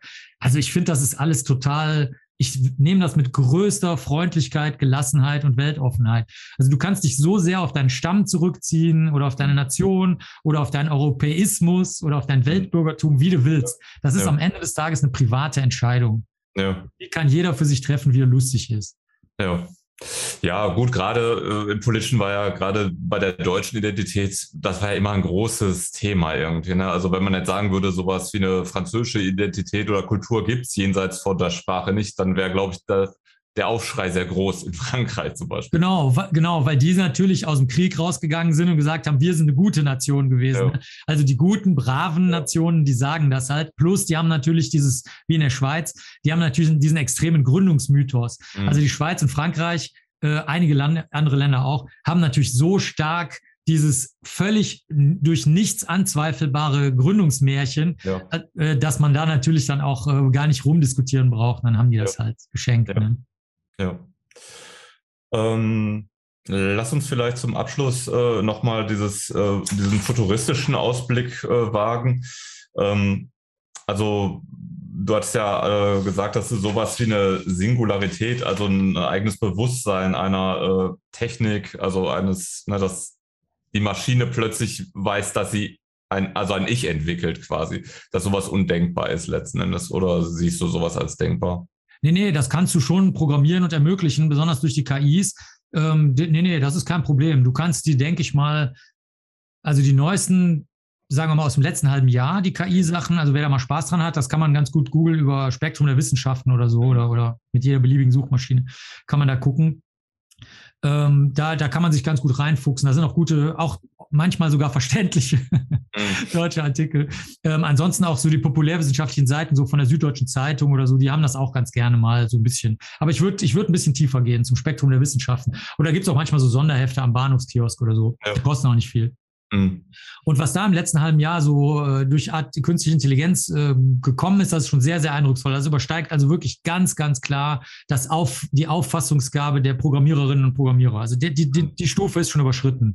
Nicht ja. nur beim Schachspielen, das ist ja schon länger, und dann beim Go-Spielen und sowas, was man ja. so als Meilensteine genommen hat, sondern jetzt auch wirklich bei größeren Dingen. Und dann wird natürlich früher oder später das kommen, dass man politische, wirtschaftliche Fragen an die äh, KI ähm, stellt und die, mhm. du kannst dir auch ein Bewusstsein programmieren. Ich halte das für völlig problemlos möglich. Nur, man darf immer, also das darfst du nicht vergessen, die hat einen An- und Ausschalter. Mhm. Und Menschen sind so. Menschen sind brutal und egoistisch. Nicht immer, aber das wird, es gibt keinen Menschen, der das nicht ist. Mhm. Und das heißt, wenn die KI oder die künstliche Intelligenz, egal ob sie im Bewusstsein oder nicht in die Quere kommt, dann wird man auf die eine oder andere Art die ausschalten. Ich rede jetzt nicht von den, es gibt Experimente mit so niedlichen Robotern, so kleinen, die sagen dann zu den Menschen, ähm, nach, nach einem kleinen Versuch, um den es gar nicht geht. Also man muss irgendwas Kleines mit denen machen, darum geht es aber ja. gar nicht, sondern das, das ist nur eine Tarnung für das eigentliche Experiment.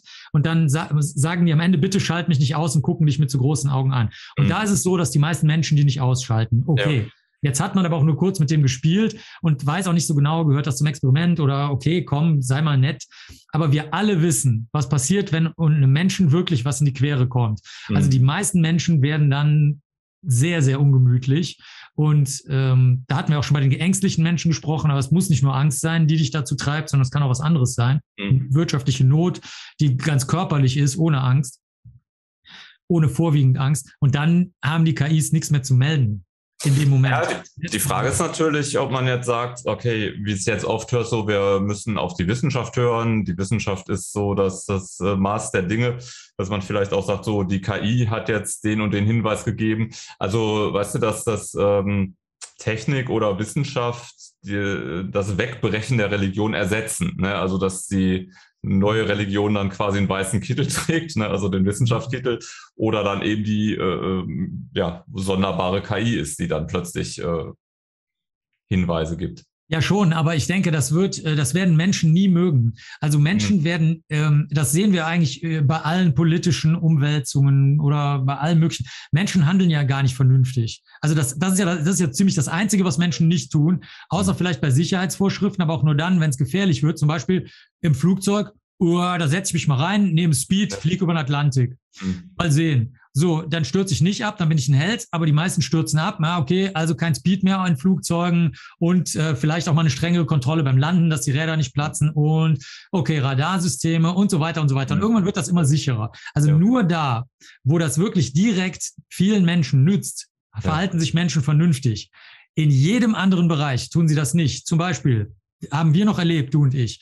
Atomwaffenaufrüstung ist zutiefst unvernünftig gewesen. Es gab Massenproteste. Die größte Demo, die es in Deutschland jemals gab, war gegen die atomare ähm, Stationierung von bestimmten Atomstreckenwaffen. Äh, ähm, äh, also nennen wir es auch Mittelstreckenwaffen, sage ich mal als Laie. Also und ähm, das, das war, und dann hat sich hinterher herausgestellt, dass es mega vernünftig war. Jahrzehnte später hat sich herausgestellt, dass nur durch diese Atomwaffen das ganze Sicherheitsgleichgewicht aufrechterhalten wurde. Niemand ja, genau. Fäuste gegeneinander, genau. Niemand hat gedacht, dass das so sein könnte. Das war hochgradig unvernünftig. Das ja. heißt, Menschen werden, was die KIs angeht oder sowas, werden die niemals sich vernünftig verhalten, sondern immer das machen, wie halt Menschen sind. Wieder mal gerade ihr Schwarm-Scheiß-Ding. Entweder im Stamm oder in der Nation oder in, dem, in der Region, wie auch immer. Und dann werden die das, wenn sie wirtschaftlich dazu in der Lage sind und äh, strukturell werden sie es durchsetzen. Und dann wird das passieren. Mit mhm. oder ohne KI. Also wenn die KI nützt, wird man sie als Instrument einsetzen, ne, besonders als Waffe. Aber ähm, wenn es uns nicht gefällt, dann halt nicht. also da gibt es ja zahllose Beispiele für. Ne? Wo siehst du denn, ähm, wenn wir nochmal das äh, Gegenstück, den Transhumanismus sehen? Also der Mensch äh, wird immer kybernetischer, übernimmt immer mehr äh, na, elektrische Dinge, also vom, vom Mobiltelefon vielleicht angefangen, was immer mehr verschmilzt möglicherweise ähm, bis hin zu äh, Überführung des menschlichen Geistes in die Maschine, um eine Unsterblichkeit zu erlangen. Ne? Sagen wir, wir können Einstein wieder den Geist reproduzieren oder sowas. Ähm, siehst du da irgendwas kommen? Also wie, wie siehst du da die, die nähere Zukunft? Also null, ne? Das, also außer die Sachen, die jetzt, ähm, sagen wir mal, immer gerade sexy sind. Also ja. ich rede auch mit denen öfter, die, äh, die mögen mich, diese Organisationen für Transhumanismus mögen mich manchmal, weil ich ja so RFID-Chips implantiert habe und Magneten und dies und das. Äh, und äh, das finden die dann immer irgendwie interessant. Mhm. Ähm, aber ich sehe da sehr wenig. Also die Entwicklung, die man zum Beispiel zu der Verschmelzung gesehen hat, ja. ist jetzt zum Beispiel, kannst du den RFID-Chip, kannst du dir halt im Ring, kannst du den tragen und damit dann zahlen, so wie Apple Pay oder irgend sowas, ne, oder ja. Google Pay. Ja. Ähm, gut, okay, das ist meiner Meinung nach, ist das eigentlich eine, eine kleinliche technische Verbesserung. Ob du jetzt dein Handy nimmst oder so eine Plastikkarte oder ehrlich gesagt ein Überweisungsträger auf Papier, ich sehe da jetzt aus meiner Sicht nicht den großen Unterschied, außer dass es halt irgendwie bequemer oder sonst was ist oder digitaler oder so. Aber diese echten Verschmelzungssachen, Sachen, die ich von den transhumanistischen Kongressen immer so höre, ähm, die finden eigentlich überhaupt nicht statt. Also da, ich habe da nichts gesehen bisher. Ich, ja gut, das fängt ja bei Prothesen an, die dann immer raffinierter werden. Also kybernetische Augen sind vielleicht auch denkbar. Ja, da bist du natürlich jetzt wieder bei dem, äh, bei der Frage, wie, legst du es fest? Ja, also meine Festlegung von was echten transhumanistischem oder transhumanen ja. wäre natürlich, dass du echt ne, einen Sprung in diesen schon genannten, sagen wir mal, wie so eine Zahlenstufe, ne? Jetzt bist du bei 10 ja. und jetzt reden wir von 1000. Also in einer ganz anderen Welt auf einmal bist. Und da habe ich bisher überhaupt nichts gesehen. Also die, äh, ich habe schon in meinem ersten Buch, das habe ich da, das war irgendwie vor, äh, vor 25 Jahren, Traum vom ewigen Leben heißt das. Da mhm. habe ich auch schon so Sachen reingenommen, diese Prothesenverbesserungen und so. Mhm. Und die, die Verbesserungen sind, wenn man so will, immer auf dem Stand, auf dem sich auch die menschliche Gesellschaft weiterentwickelt. Ja. Also von irgendwelchen auch nur ansatzweise sprunghaften Verschmelzungen oder so ist da nichts festzustellen. Mhm. Denk mal an Google Glasses. Ähm, das, das wäre, also die werden ja auch noch weiterentwickelt. Ne? Also ja. die Abteilung an sich gibt es zwar eigentlich nicht mehr, aber ja. es ist jetzt nicht so, dass da gar nichts mehr mitgemacht wird. Das hat ja überhaupt nicht funktioniert, obwohl das eine super sexy Sache war. Das war extrem sexy und das ist gestorben, weil die Menschen halt Angst vor der Kameraüberwachung hatten. Okay, mhm. gleichzeitig sind in allen Handys mittlerweile so gute Kameras drin, dass, dass es also quasi ein Witz ist, weil durch die Daten, die damit abgespeichert sind in deinem Foto oder in deinem Video, die du dann einfach nach YouTube oder sonst wo hochlädst, mhm. äh, Facebook, ähm, Insta, Twitter, hm. kann ja sogar jeder auslesen. Also wenn du es nicht künstlich, diese sogenannte EXIF-Datei oder was auch immer, was für Dateien sind die Geodaten, wenn du die nicht künstlich löschst, dann überträgst du die ja sowieso automatisch. Das heißt, 99,9 Prozent aller Menschen übertragen sie automatisch ja. ihre, ihre Positions- und sonstigen und eigentlich auch sozialen Daten. Da steht ja auch dabei, welches Gerät du benutzt hast. Das ist ja alles, das überträgst ja alles mit. Mhm. Und ähm, mehr als das sehe ich nicht bisher. Und ich muss dazu sagen, dass ich öfter angesprochen werde von diesen Leuten, ob ich auch Vorträge halten kann. Aber da, meistens kommen wir nicht zueinander, weil ich sage, ja, ich habe selber Implantate, ich kenne Prothesenmacher. Ja. Und Macherinnen. Ich sehe auch viele Big Data Dinge, die, die man eben so Matrix-mäßig, so wie diese Filmserie Matrix, so ein bisschen zusammenbringen könnte. Aber mhm der Schritt, den man da im transhumanistischen Bereich da gerne hätte, also ich sehe den weit und breit nicht. Und das muss ich sagen, als jemand, der auch zur Deutschen Gesellschaft für Naturforscher Ärzte geht, ähm, zu den rechtsmedizinischen Kongressen, ähm, zu den ähm, Programmierersachen, die teilweise aber auch schon so Schnittstellen zu Geheimdienstleuten, aber auch zu den anarchischen, also zu den Hackern, die also mhm. angeblich immer gegen die Geheimdienste arbeiten. Also ich, ich sehe da schon schlaglichtartig dies und das, aber aus keinem dieser Bereiche sich irgendwas in den transhumanistischen Bereich reinfließen. Also mhm. das ist, müsste, müsste mich jemand nochmal, weiß ich nicht, in irgendwas einbinden, was nicht nur über so Hoffnungen und Wünsche und so ein mhm. bisschen technisches Schnickeldickel ja. ist. Also da habe ich bisher noch nichts. Das ist noch sehr Science Fiction. Also bin ich ja für. Wie gesagt, ja. ich habe selber RFID-Chips, Magneten, alles implantiert. Ich bin mega pro Science Fiction. Ich sehe auch sehr viele Sachen, die Philip K. Dick äh, mhm. vorhergesagt hat bei diese, was heute als Film bekannt ist, Minority Report und äh, Blade ja. Runner und so weiter. Ist ja alles passiert. Mhm. Also der war ja völlig weg. Also wenn man den mal normale Vorträge ähm, halten hört oder normal reden hört oder so, das ist total langweilig und doof irgendwie. Aber mhm. seine Stories sind alle Wirklichkeit geworden. Mhm. Die kannst du auch als Dystopien bezeichnen, wenn du möchtest. Ne? Vieles davon. Also gerade Minority Report, also Pre-Crime. Ja, absolut, ja. Das ähm, ist, wird ja sogar gemacht. Nur mhm. es ist halt anders gekommen, als er es gedacht hat. Ne? Er hatte ja eher auch so eine, ich will es nicht dystopisch nennen, aber so sagen wir mal ein bisschen düstere Sicht darauf. Und äh, bei Minority Report, also bei Pre-Crime ist es ja so, das funktioniert zum Beispiel sehr gut. Da wird Big Data gemacht, da guckt man, wo müssen wir mehr Vorbeugung gegen Einbruchsdelikte, gegen Tötungsdelikte, gegen Raub machen. Äh, in den USA vor allen Dingen wird es gemacht und das funktioniert eigentlich sehr gut, ist total menschenfreundlich und ist das genaue Gegenteil von dem geworden, was äh, wir alle, ich auch, gedacht haben. Na gut, im Film war es ja so, dass im Prinzip Leute ähm, verhaftet wurden für Verbrechen, die sie laut Computerberechnung begehen würden in der Zukunft. Aber die Polizeieinheit verhaftet erst in dem Moment, wo die Person das Verbrechen begehen will und greift erst ein. Also es ist jetzt nicht so, dass sie die Leute einfach wegfischen von der Straße. Hm, ja. Und da hat man eben daraus gelernt, denke ich mal, aus diesem, das wäre dann wirklich dystopisch, ne, wenn du die Leute ja. einfach so wegfischen würdest. Und ähm, hat gesagt, hm, wir, wir, wir wissen, dass jeder Mensch Verbrechen begehen kann. Aber wir entscheiden sozial und politisch, dass das trotzdem nicht so ist. Mhm. Das ist zum Beispiel unvernünftig. Das ist ein Beispiel ja. für eine hochgradig unvernünftige Aussage. Es stimmt mhm. nämlich überhaupt nicht, dass jeder Mensch sich zum Guten wandeln kann. Es stimmt überhaupt nicht. Aber das ist so, so möchten wir das, in so einer Welt möchten wir leben. Und äh, dann hat man das eben gedreht und hat Pre-Crime auf eine menschenfreundliche Art gemacht. Mhm. Ja, hast du noch ein Thema, was du gerne ansprechen würdest? In ja, ich finde das mega umfassend. Also, mhm. ja. Ja, und ich sag mal pro forma Tschüss, liebe Zuschauerinnen, Zuschauer, Hörer und Hörerinnen. Und danke an dich für deine guten Fragen. Sehr gern.